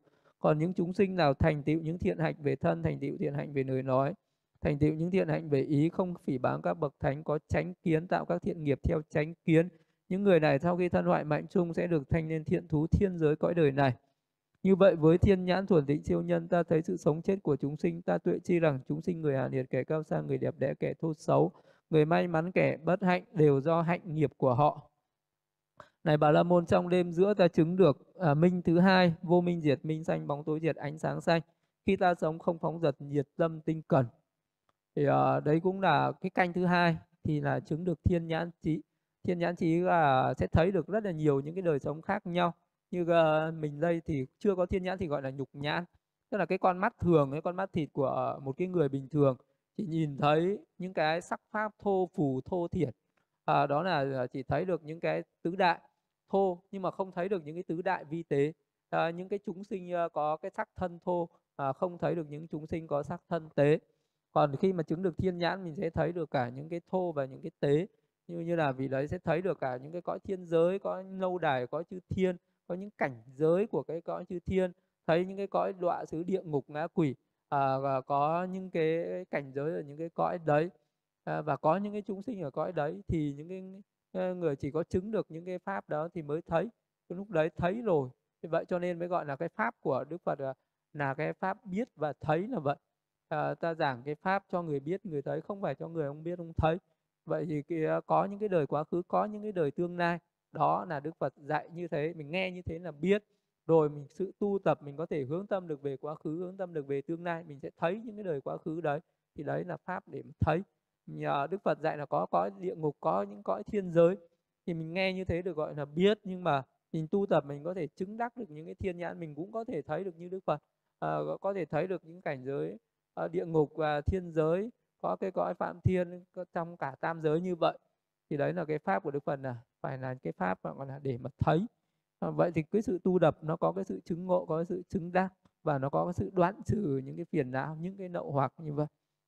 Thì với tâm định tính thuần tĩnh, không cấu nhiễm, không phiền não, nhu nhuyễn, dễ sử dụng, vững chắc, bình thản như vậy, ta hướng tâm đến nậu tận trí, ta thắng chi như thật, đây là khổ thắng chi như thật đây là nguyên nhân của khổ. Thắng chi như thật đây là khổ diệt. Thắng chi như thật đây là con đường đưa đến khổ diệt. Thắng chi như thật đây là nậu hoặc. Thắng chi như thật đây là nguyên nhân các nậu hoặc. Thắng chi như thật đây là các nậu hoặc đã diệt. Thắng chi như thật đây là con đường đưa đến diệt các nậu hoặc. Nhờ vậy à, nhờ thấy như vậy tâm của ta thoát khỏi các dục nậu thoát khỏi hữu nậu thoát khỏi vô minh nậu. Đối với tự thân ta đã giải thoát như vậy khởi nên hiểu biết ta đã giải thoát ta đã thắng trí sanh đã tận phạm hạnh đã thành việc cần làm đã làm không còn chữa nuôi trạng thái này nữa. Này bà la môn trong đêm thứ ở à, trong canh thứ ba ta chứng được uh, minh thứ ba uh, vô minh diệt minh xanh bóng tối diệt ánh sáng xanh trong khi ta sống không phóng giật nhiệt tâm tinh cần. Uh, đấy là chứng được uh, nậu tận minh. Nậu tận minh là cái gì? Nậu tận minh có nghĩa là đoạn trừ hết các cái phiền não nậu hoặc. Uh, mà đoạn trừ hết phiền não nậu hoặc là giác ngộ các cái sự thật thì đây là giác ngộ về tứ thánh đế à, giác ngộ về khổ về tập đế về diệt đế về đạo đế à, giác ngộ về uh, nậu hoặc tức là những cái phiền não nguyên nhân sinh ra nậu hoặc chấm dứt các nậu hoặc và con đường đưa đến chấm dứt các nậu hoặc thì đấy cũng là bốn thánh đế. Thì lúc đấy đức phật cũng giác ngộ các sự thật tứ thánh đế như vậy. Thì thành tựu được tam minh lục thông thì đấy là trở thành một vị phật. Vậy một vị phật khác với một cái người phàm phu đó là người phàm phu không có cái minh nào cả không có thi túc nhận minh không có thiên nhãn minh không có nậu tận minh à, hay là một cái người có tu tập những cái pháp về thiền định chứng đắc thiền định à, cũng có thể vị đấy thành tựu được túc mạng minh có thể thành tựu được thiên nhãn thành tựu được thúc mạng thông thiên nhãn thông. À, nhưng cái vị đó à, phải chuyển sang thực hành thiền tuệ quán về các cái pháp chân đế thì vị đó mới có thể thành tựu được cái minh thứ ba đó là túc mạng minh hay là túc mạng thông túc mạng minh này. Thì uh, vị đó cần phải thực hành cái pháp thiền quán à, thấy được khổ tức là phải thấy được cái danh sắc chân đế thấy được nhân sinh ra khổ là cái tham ái vô minh chấp thủ thấy được sự diện tận uh, khổ đó là diện tật được cái vô minh tham ái chấp thủ đấy. Và thấy được cái con đường đưa đến diệt khổ chính là uh, cái con đường tu tập giới định tuệ đưa đến diệt tận cái sự uh, khổ đó. Thì uh, lúc đấy có tu tập như vậy thì sẽ đi đến cái sự chấm dứt khổ đau ở trong đời này. Rồi Đức Phật nói rằng này bà La Môn ông có thể có tư tưởng như sau là nay sa môn Gotama chưa diệt trừ tham chưa diệt trừ sân chưa diệt trừ si nên sống tại các chú xứ xa vắng trong rừng núi hoang vu. Này bà Nam môn chớ có hiểu như vậy. Ta do quan sát mục đích mà ta sống ở các chú xứ xa vắng trong rừng núi hoang vu. Tự uh, thấy hiện tại nạc chú và vì lòng thương tưởng cho chúng sinh ở tương lai. Thì sau khi mà Đức Phật đã đắc đạo, đã thành đạo, đã đoạn trừ hết những cái kiết sử, những cái nậu hoặc những cái phiền não, đã chấm dứt khổ đau rồi, nhưng Đức Phật vẫn luôn luôn sống ở trong rừng núi, vẫn sống ở những cái nơi hoang vắng, vẫn sống ở những cái nơi thanh tịnh. À, chứ Đức Phật cũng không ưa thích những cái nơi ồn ào, không ưa thích sống ở những cái nơi phố phường à, đông đúc chật chội. Tại vì sao thế? Có thể là có những cái người sẽ có những cái ý nghĩ sai lầm nghĩ rằng à Đức Phật sẽ à, không chịu được những cái nơi ồn ào đức phật vẫn sợ sống ở những cái nơi à, ô nhiễm sẽ bị ô nhiễm sống ở những cái nơi có nhiều tham dục sẽ khởi lên tham dục thì đức phật vì ngăn ngừa cái vị ờ, bà la môn này có những cái suy nghĩ như vậy nên đức phật mới nói trước rằng là có thể ông có suy nghĩ như vậy nhưng không phải là như thế. Mà đức phật sống mặc dù ngài đã đắc đạo ngài đã giải thoát ngài đã giác ngộ ngài đã thành phật ngài đã vô nhiễm với tất cả những cái đáng ô uh, ờ, những cái những cái cám dỗ những cái sân hận thì dù có cái nghịch cảnh như thế nào không bao giờ những cái ô nhiễm ấy nó có thể khởi lên à, lúc đấy đức phật hay các vị a la hán có thể sống bất cứ đâu cũng được cũng không bao giờ bị nhiễm lại những cái eh, phiền não nữa. Nhưng mà đức phật hay các bậc thánh nhân a la hán vẫn chọn cho mình một cái đời sống độc cư ở trong rừng núi. Là vì sao? Là vì hai nguyên nhân. Một là vì sự hiện tại lạc trú tức là à, một vị Phật có vẫn hàng ngày vẫn ngồi thiền chứ không phải là ngày đắc đạo ngày thành Phật rồi ngày không ngồi thiền là không có hay là các bậc A La Hán cũng vậy hàng ngày các vị vẫn ngồi thiền. Ngồi thiền là để vì làm gì? Là vì để cái sự ngồi thiền đấy là để sự nghỉ ngơi cho nó đỡ mệt mỏi. Cái sự uh, ngồi thiền đấy là sự trú ở trong các cái thiền quả để uh, cho nó có cái sự an là có cái sự khinh an. Ví dụ như là đức phật có thể uh, đi uh, nhiều nơi thuyết pháp uh, tế độ chúng sinh ở nhiều nơi hay là các bậc a la hán cũng thế có thể làm nhiều cái công việc khác nhau. Nhưng mà cái cách để lấy lại cái sự uh, uh, an ổn lấy lại cái sự uh, khỏe khoắn về thân tâm đó là ngồi thiền chứ không phải là ngủ nghỉ. Ví dụ như là một cái người thường ấy người ta mệt thì người ta sẽ nằm ngủ một giấc. Sau khi ngủ dậy người ta có thể phục hồi lại cái sức khỏe. Nhưng mà uh, người ta có thể phục hồi lại cái sức khỏe của thân nhưng mà nó cái tinh thần ấy nó không được thoải mái nó không có cái sự an lạc như là một cái người ngồi thiền. Ví dụ như một cái người chứng đắc các tầng thiền rồi thì cái sự an lạc nhất đó là khi được ngồi ở trong các cái tầng thiền đấy. Chú ở trong tầng thiền đấy một giờ hai giờ và xả ra thì thân tâm của cái vị đó rất là có cái sự rất là hỉ là có cái sự khinh an có cái sự nhẹ nhàng có cái sự à, tươi tắn và các căn nó rất là tịch tinh nó rất là trong sáng nó rất là sáng suốt. Và đó là cái sự uh, cư trú của các bậc thánh. Hay đức phật và các bậc a la hán cũng thế vẫn cứ ở trong rừng ngay khi các ngài đã tu hành thành mãn rồi. Đấy là cái lý do uh, mà một cái các cái bậc hiền nhân các bậc thánh nhân không uh, có ưa thích những cái lối sống những cái đời sống ở những cái nơi uh, phố phường đô thị những ồn ào náo rộn mà các vị đấy vẫn cứ ưa thích ở trong cái núi rừng trong những cái nơi thanh vắng. Thế nên là uh, một cái uh, nhưng cho nên là ở trong rừng vẫn luôn luôn là cái chỗ ở của các bậc thượng nhân các bậc thánh nhân hay là các cái vị chư thiên thiên thần và những cái vị chư thiên cao thượng vậy người ta vẫn thích cư ngụ sống ở trong những cái nơi rừng núi chứ không có thích sống ở những cái nơi uh, ồn ào náo nhiệt. Thì các bậc thánh nhân cũng thế chỉ có ưa thích ở những cái nơi tịch tinh những cái nơi vắng vẻ trong rừng núi mà thôi. Thì, uh, thì uh, những cái đoạn cuối của cái bài kinh thì, uh, à, cái vị bà la môn nói rằng chúng sinh trong tương lai được tôn giả Gotama thương tưởng vì tôn giả là bậc a Na hán tránh đẳng giác, thật vi diệu thay tôn giả Gotama thật vi diệu thay tôn giả Gotama như người dựng đứng lại những gì bị quăng xuống, phơi bày ra những gì bị che kín, chỉ đường cho người bị lạc hướng, đem đèn sáng vào trong bóng tối để những ai có mắt có thể thấy sắc. Cũng vậy, chánh pháp đã được tôn giả Gotama dùng nhiều phương tiện trình bày giải thích. Con xin quy tôn giả Gotama quy pháp, quy chúng tỷ kheo tăng, mong tôn giả Gotama nhận con là đệ tử từ nay trở đi cho đến lúc mạng chung con chọn đời quy ngưỡng. À, kinh sợ hãi và khiếp đảm thứ tư chấm dứt. Thì đấy là cái đoạn cuối của cái bài kinh sợ hãi và khiếp đảm. Thì cái bài kinh này chỉ nói về cái sự sợ hãi của những người cư trú ở trong rừng. Thì nói tóm lại à, là trong cái nội dung của cái bài kinh này Đức Phật nói về 16 cái nguyên nhân khiến cho một cái người sống ở trong rừng khởi lên cái sự sợ hãi. À, và đó cũng là 16 cái nguyên nhân mà mình có thể chấm dứt được cái sự sợ hãi và khiếp đảm nếu như mà một cái người mình sống ở trong rừng thì cái người nào mà à, ở khi sống ở trong rừng tức là mình đến một cái môi trường nào yên tĩnh để tu tập ấy, chứ à, không nói gì là ở trong rừng. Mà mình còn có cái thân hành à, tức là còn có những cái tội lỗi ở nơi thân nơi khẩu nơi ý và nuôi mạng à, không thanh tịnh thì um, sẽ không có thể tu tập được vì cái tâm nó luôn bất an lo sợ.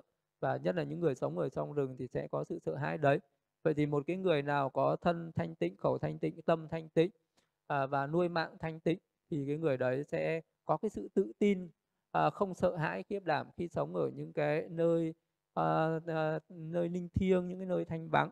Đấy là mình muốn hết sợ hãi thì mình hãy từ bỏ. Ví dụ người đó phải giữ giới giữ giới về thân không sát sinh trộm cắp tà dâm không nói dối ờ, không phạm những cái lỗi lầm về thân về khẩu về tâm. Người mà ta càng à, giữ giới và hành thập thiện nữa thì yên tâm sống ở cũng không có phải sợ hãi. À, và những người không có triền cái nếu mà còn có năm triền cái tham dục sân hận hôn trầm thụy miên trạng hối hoài nghi khởi lên thì mình sẽ sợ hãi. Còn nếu như mình vượt qua được cái năm triền cái đấy thì mình sẽ không sợ hãi. Và cái người nào mà còn khen mình trên người tức là mình có uh, tu tập được một chút mà đã tự hào tự mãn thì mình sẽ lại sợ nên sinh nên sợ hãi. Người nào phải thoát qua được cái khen mình trên người đó không tự hào tự mãn khi mình tôi mới tu tập được một chút mà phải kiên trì tu tập cho đến thị thành tựu tuyệt đối. À, có cái sự sợ hãi có cái người thì ham danh lợi cho nên là sinh ra sợ hãi. Cái người không ham danh lợi thì không sợ hãi. Người lười biếng thì sợ hãi người không lười biếng cũng sợ hãi. Người nào mà thất niệm tức là cái người đấy không có niệm vào các cái đề mục mà cứ hay ê, suy niệm những cái ê, những cái tạp nham khác thì sẽ sợ hãi. Người nào giữ được chánh niệm thì người đấy không sợ hãi người nào có tâm tán loạn hay có tâm si ám thì người đấy sợ hãi. Người nào không có tâm tán loạn không si ám thì người đấy không sợ hãi. Vậy thì người nào mà thoát ra được khỏi uh, dứt bỏ được khỏi những cái hay là mình chế ngự mình đè nén được những cái uh, những cái tâm bất thiện đấy thì cái tâm của mình nó sẽ tự tin và nó sẽ không có hoang mang. Và có một cái cách để mình vượt qua sự sợ hãi đó mình phải đối diện với cái sự không sợ hãi đấy. Mình sợ cái gì mình hãy đến đấy à, để mình vượt qua cái sự sợ hãi đấy. À, sợ hãi những cái nơi hoang vắng miếu à, mạo thì mình hãy đến trực tiếp đấy mà trải qua một đêm nó sẽ trải nghiệm là mình sẽ thấy không có cái gì nguy hại đến cái thân thể mình hết. Người sợ hãi tha ma thì hãy ra tha ma mà cư trú một đêm là sẽ thấy hết ngay. Mình sẽ thấy rằng là sáng ra mình vẫn bình yên không có chết đâu mà no không có ai làm hại mình cả. Do chỉ là do cái tưởng của mình thôi. Vậy cái người nào uh, có những cái phiền não hay có cái lo nắng hay có những cái tưởng rồi tự cái tưởng của mình nó làm sợ hãi mình. À, thì mình hãy tự vượt qua những cái tưởng đấy. Hay là những cái sợ hãi nó sinh lên từ những cái tâm bất thiện. Mình vượt qua những cái à, mình không có khởi lên những cái tâm bất thiện thì nó sẽ không khởi lên cái sự sợ hãi. Và à, đối với một cái bậc có chánh trí có trí tuệ thì tuyệt đối sẽ không còn sợ hãi. À, vậy thì cái sự sợ hãi chỉ khởi lên với người ngu chứ không khởi lên với người trí. Một cái người mà thành tựu được chánh trí thì sẽ nhổ tận gốc rễ của cái sự sợ hãi đấy. Thế cái người nào mà mình thấy mình còn hay hãi hồng hay hãi tối hay hãi, nhưng là mình phải biết rằng mình là người ngu ha, cần phải cố gắng tu tập cho trở thành người trí. Thì khi nào mình cảm thấy mình thật sự tự tại rồi, ở một mình không còn sợ tối nữa, ở nơi thanh vắng không còn sợ hãi nữa, ở trong rừng núi không sợ hãi, thậm chí mình có thể ra ờ, cả những cái nơi mồ mả mình ở, mình không sợ hãi nữa, thì lúc đấy mình mới là người trí đấy là cái bài kinh này chỉ bày cho mình biết à, mình cần không nên sợ hãi mà phải sống tự tin lên. Mà cái người bất thiện thì mới sợ hãi người thiện sẽ không sợ hãi người ngu sợ hãi người trí sẽ không sợ hãi. Mà tu tập thành tựu được chánh trí tuyệt đối sẽ không còn sợ hãi nữa. Đó là cái nội dung của cái bài kinh. Đây là chấm dứt là hết. Bài kinh sợ hãi và khiếp đảm giờ có ai có câu hỏi thì sư sẽ trả lời Dạ con thưa sư, con xin đọc các câu hỏi của các hành giả gửi lên ạ. Câu hỏi thứ nhất của hành giả Tài Phan. Con lỡ ăn vài trái nhãn trước khi dâng cho chư tăng, vậy giờ phải làm sao ạ? Ăn vài trái nhãn nhưng mà nhãn nên nhãn của chư tăng hay là nhãn nào? Những cái uh, khi mà những cái đồ nào mà ừ, là những cái vật thực của chư tăng mà đã được uh, sắp đặt dâng cúng cho chư tăng mà mình uh, chủ động mình cố tình mình lấy ăn ấy, thì mình uh, sẽ có cái tội uh, đó là giống như lấy trộm các cái vật của chư tăng ấy, thì cái tội đấy nó rất là nặng có thể đoạn làm ngã quỷ rất là nhiều kiếp. Nhưng mà nếu mà một cái người có tâm sám hối là sẽ hết ví dụ như là mình sẽ chỉ cần sám hối với một bất cứ một vị tăng nào đây. À, con đã Ờ, vô tình hay là cố ý lấy cái đồ của chư tăng thì con xin sám hối ờ, để ờ, ngài hoan hỷ chứng nhận cho con để con được sự lợi ích sự tấn hóa sự an vui lâu dài thì chỉ cần sám hối một cái là nó sẽ hết hết cái tội đấy ngay tội đấy tội nhỏ. Còn nếu như mình vô ý thì nó cũng không có phạm tội. Hoặc là, là bây giờ mình uh, cảm thấy nó bất an thì mình chỉ cần sám hối thôi. Chỉ cần là con xin sám hối vì con đã chót lấy uh, mấy cái đồ uh, của chư tăng thì con chỉ cần nói vậy là hết hết tội Dạ, con xin đọc câu hỏi của hành giả Huy. Câu hỏi thứ nhất. Dạ, con bạch sư cho con hỏi. Khi vào tứ thiền sắc giới có phải mình ngưng thở, tai mình không còn nghe âm thanh, không còn thân không ạ? Mình quán các chi thiền là khi mình nhập vào tầng thiền rồi quán hay khi mình xuất khỏi tầng thiền mình mới quán ạ? Khi mà cái tâm nó vào an định của tứ thiền ấy, thì uh, nó không còn hơi thở nữa hơi thở dừng lại hoàn toàn. Uh, và lúc đấy các cái căn khác nó không hề có nhận biết. Ví dụ như là nhãn thức nó ngưng nhĩ thức nó ngưng nên nó không nghe âm thanh. Hoặc lúc đấy có những cái âm thanh tác động vào lớn quá à, thì nó trượt ngay đi giống như nước trượt khỏi lá sen và nó không động lại tâm mình nó không bị bắt theo nó không suy luận theo âm thanh đó Ờ, nó có thể là cái âm thanh ấy nó bùng lên làm cho mình trượt ra khỏi định trong cái sát na đấy nhưng mà nó bắt lại ngay thì cũng có thể có trường hợp đấy. Còn có những người mà nghe âm thanh mà hoảng loạn sợ hãi quá thì nó sẽ ờ, nó sẽ bị uh, làm cho vị đó tiêu tán tức là nó sẽ mất mất cái an chỉ định đậy thì nếu như cái âm thanh nó quá lớn làm cho mình sợ hãi thì nó có thể như thế. Còn với một những người có định rất là thâm sâu thì hoàn toàn cái âm thanh không hề nghe biết gì. Cái này còn tùy theo cái định lực của mỗi người thì đấy cũng là, à, và cái những cái cảm giác trên thân thì vị đó cũng không nhận biết trong cái lúc vào trong cái sát na an chỉ định đấy nhưng mà đôi khi có những cái tác động gì đó nó, vật lý nó quá mạnh trên thân mình thì uh, khi mà mình nhận biết uh, những cái cái cảm giác đó trên thân là lúc đấy nó đã xuất ra khỏi thiền. Vậy thì uh, mình muốn để giữ được cái thiền của mình nó an ổn thì mình phải ở một cái nơi không có âm thanh tác động náo loạn tâm mình và không có những cái vật gì tác động lên thân mình thì sẽ giữ được cái thi, cái an chỉ định đấy. Còn nếu mình mà sống ở cái nơi nào nó quá nhiều nghịch cảnh, quá nhiều âm thanh, thì tâm của mình nó cứ bị rơi ra khỏi thiền. Và là có những cái ai đó đến đụng chạm lên thân mình thì lúc ấy mình sẽ xuất ra khỏi thiền. Còn cái lúc mà một cái người kiểm tra các chi thiền thì ờ, vị đó sẽ xuất ra khỏi thiền, chứ không còn là chú ở trong tầng thiền nữa. Ví dụ lúc đấy vị đó chỉ cần khởi lên ý nghĩ ta kiểm tra chi thiền, rồi vị đó hướng xuống cái ý một thì cái lúc đấy là nó sẽ nó đã xuất ra khỏi tầng thiền rồi nó chỉ còn là sát na định chứ nó không còn là an chỉ định nữa. Là xuất ra khỏi cái an chỉ định đấy rồi nhưng mà nó vẫn còn cái cái an cái sát na định để vị đó phân tích uh, những cái chi thiền.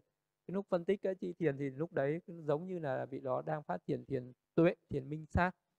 Uh, các chi thiền nó cũng là pháp chân đế vị đó đang phát triển thiền minh sát và lúc đấy nó còn sát na thiền sát na định chứ nó không còn an chỉ định an chỉ định là cái lúc đấy mình toàn tâm toàn chú toàn ý ở trên cái tự tướng ấy mới là an chỉ định Dạ, câu hỏi thứ hai của hành giả Huy ạ. Con được biết có một số vị thiền sư sau khi viên tịch còn để lại xá lợi là cả nhục thân như Ngài Huệ Năng, hai thiền sư ở chùa Đậu. Vậy các vị ấy đang ở tầng thiền nào khi các vị viên tịch ạ? thực ra thì uh, cái người để lại xá lợi không nhất thiết vị đó là một bậc đắc đạo hay là để lại cái thân này. Có những cái người phàm phu bình thường á người ta không tu tập gì không chứng đắc đạo quả gì mà người ta có thể vẫn để lại được xác thân. À, có thể là do cái nguyện và cái sự để lại xác thân đấy là do công đức và do những cái nguyện à, của các vị đấy. Có những người thì à, do có công đức lớn à, rồi vị đó có những cái ước nguyện lớn và nó cũng có thể thành tựu khi chết thì xác thân nó không tan hoại vậy cái người để lại xác thân chưa chắc đã là một cái người đắc thiền hay là đắc uh, đạo. À, hoặc là có những người đắc đạo đắc thiền cũng chưa chắc khi chết đã để lại xác thân hoặc để lại xá nợ. Mà để lại uh, xác thân để lại thân hay để lại xá nợ nó còn tùy theo cái nguyện của mỗi người. Ví dụ như là một cái bậc có công đức lớn hoặc là một cái bậc thánh nhân muốn để lại xác thân thì vị đó phải lập nguyện. Thì đó nguyện là ta sau khi chết thì uh, cái thân này sẽ không có tan tan hoại rồi có thể cái nguyện đấy có thể thành tựu thì cái xác thân ấy nó sẽ không tan hoại. Hoặc là vị đó nguyện là để lại sán lợi hay để lại một cái vật gì đó như để lại cả tim hay để lại lưỡi hay để lại cái gì đó. Thì uh, có thể là do cái nguyện nó thành do cái cái ước nguyện nó sẽ thành tựu. Uh, thôi chứ không phải là do chứng đắc gì. Cho nên là không có chú trọng cái pháp tu tập là không chú trọng về sán lợi uh, À, của những cái người tu tập nặng ờ, cái, cái đấy không nói nên cái sự tu tập chứng đắc cái gì cả nên có nhiều người chẳng tu gì người ta vẫn để lại được Dạ con xin đọc các câu hỏi của hành giả Tường Hà. Câu hỏi thứ nhất. Dạ con xin thành kính đảnh lễ sư ạ. Nếu mình hùn phước cúng dường mà người trung gian nhận tiền của mình mà do vô tình hay cố ý lại quên không chuyển đến thiền viện để cúng dường thì như thế mình được coi là đã tạo phước thiện qua thân hay chưa ạ? Mình uh, có phát tâm cúng dường nhưng mà cái người đấy cái người mà ờ, trung chuyển đấy người ta quên người ta không cúng ấy thì thực ra cái đấy thì nó có thành tựu được cái ờ, được cái gọi là cái tâm cái ý có khởi lên nhưng mà thực ra cái cúng dường thì nó chưa hẳn đã thành tựu nó nó nó chưa nó chưa hẳn đã thành tựu cho nên cái phước đấy nó còn nó còn bị dở dang nó còn bị nửa chừng và nó chưa có thành tựu rốt ráo. À, vậy nên là nếu như mà cái sự cúng dường đấy nó nó đến được đúng cái cái cái người thọ nhận đi thì uh, cái sự thành tựu đấy nó mới lớn hơn. Tức là cái lúc đấy thì mình cũng đã có rồi nhưng mà mình cúng dường cái chưa đến được cái tay của người nhận. Nhưng mà cái cái vật thí của mình cũng đã xuất ra khỏi tay mình. Vậy cho nên là nó cũng có cái phước nhưng mà nó rất là nhỏ không không đáng kể bao nhiêu. Thì cũng không phải là không có phước nhưng mà cũng không có thành tựu tuyệt đối như là mình có cái sự cúng dường đến tận tay người nhận được. Dạ, con thấy trên YouTube có video niệm Nam Mô Tassa Bhagavato Arahato Samma Sambuddhassa kèm nhạc và giải tâm từ tiếng Pali kèm nhạc. Vậy thì khi nghe mình có khởi tâm thiện lành cung kính đối với Đức Phật hay có tác ý mong cho chúng sanh được an vui thì nghe như vậy có đúng đắn không ạ? Vì trong tám giới có giới không được nghe nhạc ạ. Nếu như ờ, với một người tu tập nghiêm túc đàng hoàng thì sẽ không có nghe nhạc. Không có bà khi mà mình niệm Phật à, cũng không nên đi kèm với những cái nhạc đó. Đấy, đi kèm với những cái nhạc đó thì vẫn khởi lên lực tâm cung kính nhá. Vẫn có những cái phước hữu nậu chứ không phải là không có. Ví dụ như là chư thiên người ta vẫn tấu nhạc người ta cúng dường Đức Phật hay là có những cái vị nhạc công nhạc sĩ có thể là người ta vẫn tấu nhạc cúng dường chứ không phải là không thì những cái người đấy vẫn có phước chứ không phải là không có phước nhưng mà Đức Phật đặc biệt là chỉ nói đến cái người nào mà tu tập về cái pháp thiền chỉ quán ấy thì nên tránh xa cái sự nghe nhạc và hát nhạc bởi vì ờ, cái nhạc đấy nó làm tán loạn tâm. Như người nào thực hành thiền thì đừng có hát hò đừng có nghe nhạc ờ, và cũng đừng có niệm phật là bằng cái, cái kết hợp với nhạc đấy và mình cũng không nên nghe. Những cái nhạc đấy vì nó làm tán tâm. Còn có những người thế gian người ta không có tu tập người ta chỉ tạo phước thôi người ta cầu phước ấy thì người ta có thể tạo ra những cái nhạc để người ta kính dâng Phật uh, hoặc là tán dương Phật pháp ấy thì người ta cũng không có tội gì. Thì uh, chẳng qua người ta vẫn tạo ra phước. Nhưng mà cái đối với một cái người tu để đi đến giải thoát thì tránh tránh những cái nhạc đấy vì nó làm loạn tâm thôi. Chứ cũng không phải là có tội lỗi gì cả. Dạ, con xin đọc câu hỏi thứ tư của hành giả Tường Hà. Dạ, con có được đọc lời dạy của Ngài Pao Sayadaw rằng là mình phải gieo trồng và nuôi dưỡng hạt giống minh và hạnh để đời sau kiếp khác có cơ hội được gặp chánh pháp, có trí tuệ để hiểu được giáo pháp của Đức Phật. Dạ, con xin sư chỉ dạy cho con được hiểu rõ thêm về hạt giống minh ạ. Nếu nhiều đời mà con không có đủ duyên phước lành để sanh ra trong môi trường có giáo pháp, mà phải sống với những người có tà kiến thì hạt giống minh đã có của con có bị tiêu hoại đi không ạ?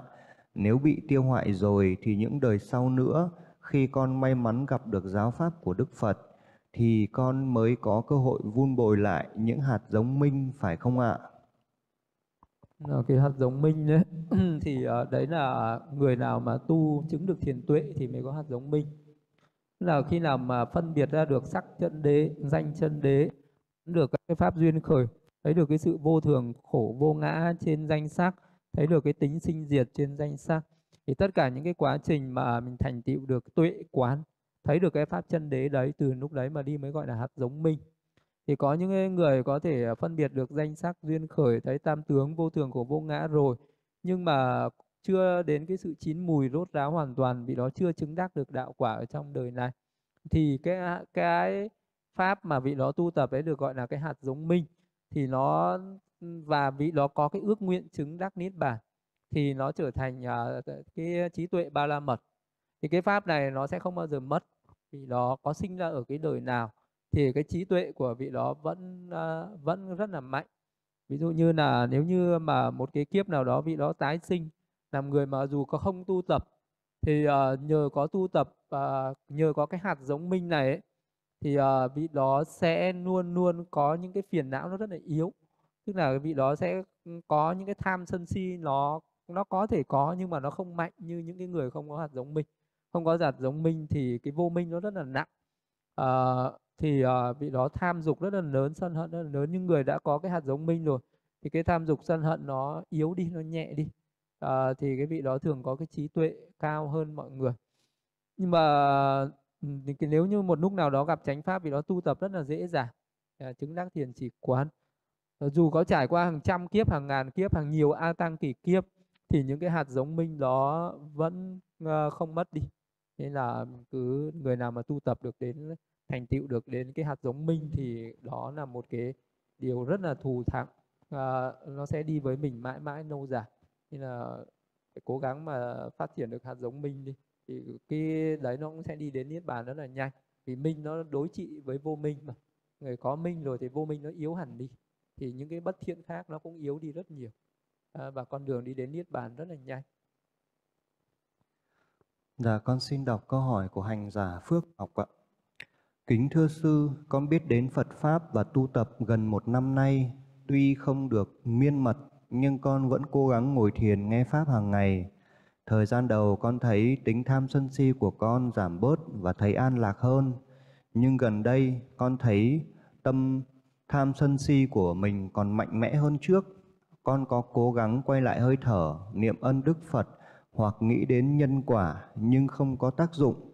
Con luôn cảm thấy bất mãn và bất như ý với đời sống gia đình và công việc. Chỉ khi con nghe Pháp và ngồi thiền thì thấy bình an hơn, nhưng khi quay lại cuộc sống mưu sinh thì tâm luôn mệt mỏi và căng thẳng, lâu ngày dẫn đến thân thể suy nhược, tâm thân đều dã rời mệt mỏi. Gia đình con hiện đang có một khoản nợ và ba mẹ ốm bệnh nên không thể bỏ công việc đi đến chùa tu tập. Mong sư cho con xin lời khuyên nên làm gì vào lúc này để giảm bớt tâm bất thiện. Con xin tri ân sư ạ thì uh, cái tâm bất thiện này là do cái môi trường của mình nhé, cái môi trường uh, sống ở tại gia thì nó sẽ phải có những cái tâm bất thiện đấy. Và bây giờ mình càng muốn trốn tránh nó thì nó càng đau khổ thôi. Bây giờ mình phải chấp nhận là còn sống ở cái đời sống thế gian này cái đời sống tại gia này thì không thể tránh khỏi những cái phiền não tham sân si này được. Thì uh, chỉ có cách là mình sống nó mình phải chấp nhận cái khổ đau đấy khi mà một cái người uh, biết uh, uh, khổ đau rồi mình chấp nhận khổ đau rồi thì khổ đau nó sẽ giảm bớt đi. Còn cái người mình không chấp nhận thì nó mới khổ đau. Mình cứ nghĩ rằng à mình phải hạnh phúc phải an vui phải tự tại à, phải à, không có những cái phiền não này. Thì, thì cái điều đó nó chỉ thành tựu được khi mình thoát ra khỏi cái môi trường đấy à, nhưng mình à, đang ở ở dưới bùn đen thì mà mình lại muốn thơm tho thì làm sao mà có được cái chuyện đó? Mình ở dưới bùn thì mình là phải có cái mùi bùn chứ mình bây giờ mình muốn uh, thoát khỏi mùi bùn thì mình phải như hoa sen chui ra khỏi bùn ấy. Thì có nghĩa là mình phải bỏ cái đời sống tự ra đấy đi suốt ra thì nó sẽ hết những cái phiền não đấy. Còn nếu mình còn ở trong tại ra thì mình hãy chấp nhận cái phiền não đấy sống chung với cái phiền não đấy và cố gắng tạo những cái phước thiện và tu tập với những cái khả năng của mình có thể à, rồi à, bao giờ mình ra được khỏi cái môi trường đấy thì nó mới hết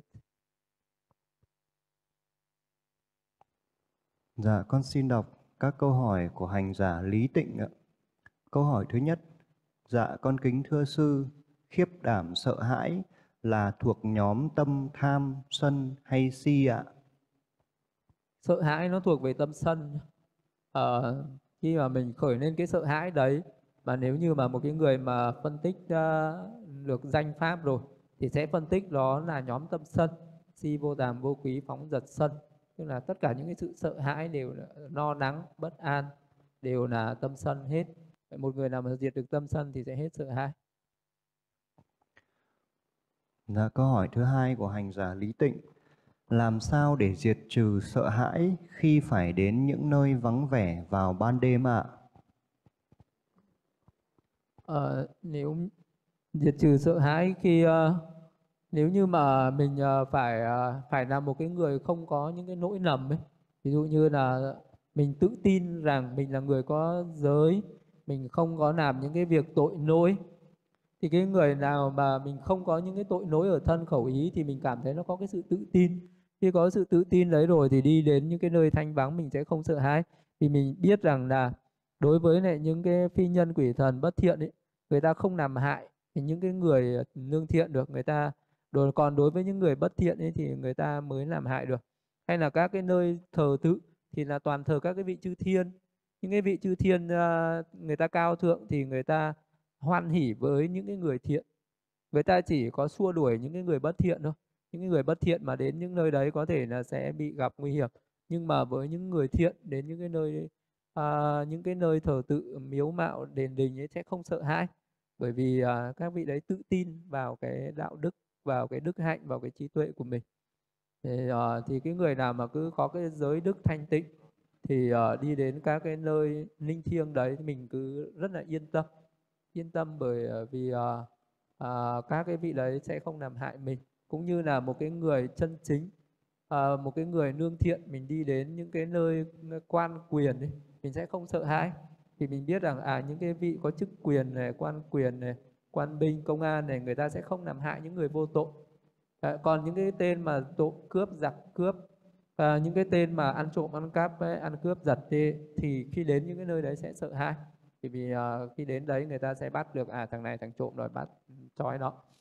À, thì là cũng tương tự như vậy nhé. Mình đến những cái nơi thờ tự khác mình là người vô tội thì đừng có sợ. À, còn nếu mình là người có tội thì đừng có đến đấy đến đấy là đến lục mạng rồi. Dạ con xin đọc câu hỏi thứ ba của hành giả Lý Tịnh ạ. Dạ con thưa sư, một người ở đời sợ ma là do đâu ạ? Với kiểu sợ hãi này, vị đó cần tu tập về đề mục gì? Hoặc suy tư về điều gì để loại bỏ nỗi sợ này ạ? Sợ đấy nó sinh ra từ uh, cái sự uh, tham ái này. Ví dụ như là một cái người mình uh, quá tham ái đối với cái thân thì nó sinh ra sự hại chết. Không còn những người mà không tham ái với thân nó không sinh ra hại chết vì nó gặp ma vì nó nói chuyện với ma cũng chẳng sao. Uh, thì uh, là chuyện bình thường ví dụ những cái người mà ở trong rừng hay những người tu hay là ở nghĩa trang người ta sẽ thấy phi nhân ờ, hú hô ờ, na ó là chuyện bình thường mà những người đấy không sợ. Vì người đấy rất là tự tin. Là đó cứ mặc kệ nếu như có nhìn thấy nó cũng cứ mặc kệ nó chẳng sao. À, nếu nó đó là chư thiên mình nói chuyện với chư thiên cũng chẳng sao. Còn nếu không mình cứ áng nặng đi mình người ta làm việc gì kệ người ta. Còn uh, việc mình làm gì cứ kệ mình người ta cũng chẳng đụng lên mình mình chẳng đụng người ta làm gì. Vậy thì đâu phải sợ. Còn những người nào mà còn tham dục còn sân hận mới sợ rồi sân hận nhìn thấy mình đi tấn công người ta, thì thành ra người ta bất mãn, người ta tấn công lại mình. Vậy là cái người còn ờ, những cái phiền não còn mạnh thì còn sân hận à còn sợ hãi. Ờ, còn những người nào à, phiền não ít rồi thì sẽ không sợ hãi nữa. Chỉ khác nhau là người có sợ hãi thôi. Thì ờ, để mà hết được cái sợ hãi đấy thì thứ nhất là mình phải giữ giới. Và thứ hai nữa mà mình tu tập các cái thiện pháp nhiều uh, để cho nó bớt sợ hãi đi tụng những cái bài kinh bảo hộ. Tức là mình phát triển cái tâm từ và uh, thực hành cái pháp thiền tâm từ. Uh, đấy là để diệt trừ sợ hãi và thực hành những cái pháp thiền uh, quán bất tịnh để mình diệt trừ cái tham ái tham dục và thực hành thiền hơi thở. Uh, rồi sau đó chuyển lên thực hành các pháp thiền quán để đoạn trừ những cái sân hận ngủ ngầm ở trong tâm đi nữa là nó sẽ chấm dứt sợ hãi đó. Dạ con xin đọc các câu hỏi của hành giả Tịnh Minh ạ. Câu hỏi thứ nhất. Dạ con kính thưa sư, sự sợ hãi, kinh cảm về nỗi khổ đau luân hồi sinh tử là trạng thái tâm thiện hay bất thiện ạ? Nó có tương tự như nỗi sợ hãi bình thường không ạ? Sự sợ hãi mà nói là kinh cảm, ví dụ như là mình niệm về xác chết, niệm về sự chết và mình ờ, thấy cái nỗi khổ trong sinh tử của mình hay của chúng sinh thì cái tâm này là hoàn toàn là tâm thiện nhé cái đây là một cái trí tuệ ấy. đây là một cái pháp một cái trí tuệ rất là cao. Nó có cái sự kinh cảm và nó có cái sự nhàm chán nó có cái sự ni tham nó có cái sự mong muốn được uh, chấm dứt khổ đau. Thì cái tâm này là tâm rất là cao thượng cái tâm này là tâm ờ, thiện rất là lớn. Chứ ờ, không nó khác hoàn toàn với cái sự sợ hãi những cái uh, như trong cái bài kinh mà Đức Phật nói là sự sợ hãi ở trong rừng này khác hẳn nhé sự sợ hãi sinh lên từ cái tâm uh, phiền não từ cái sự ngu si uh, từ cái còn cái kinh cảm nó nó sinh ra từ cái trí tuệ từ cái sự giác ngộ cao thượng từ cái sự uh, thấy các cái điều chân chánh thấy các cái sự thật. Còn cái sự sợ hãi mà ở trong uh, nơi hoang vắng đấy là cái tưởng. Cái sự sợ hãi đấy không sinh ra từ trí tuệ mà sinh ra từ cái tưởng sinh ra từ vô minh tham ái chấp thủ. Còn cái sự sợ hãi kia là sinh ra từ trí tuệ sinh ra thì cái hai cái sự sợ hãi đấy khác nhau hoàn toàn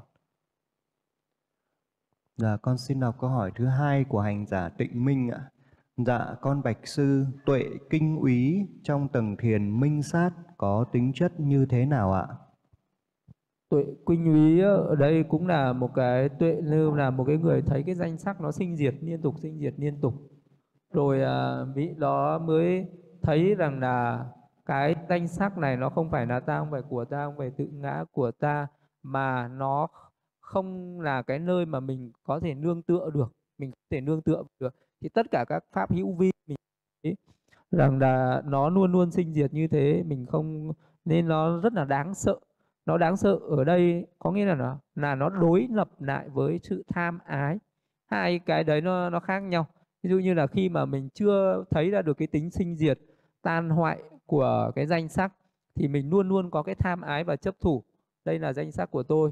À, nhưng mà khi mình thấy được cái sự à, sinh diệt liên tục của nó rồi thì à, mình à, sẽ không tức là cái quy ý là nó đối lập lại với cái tham ái chấp thủ kia.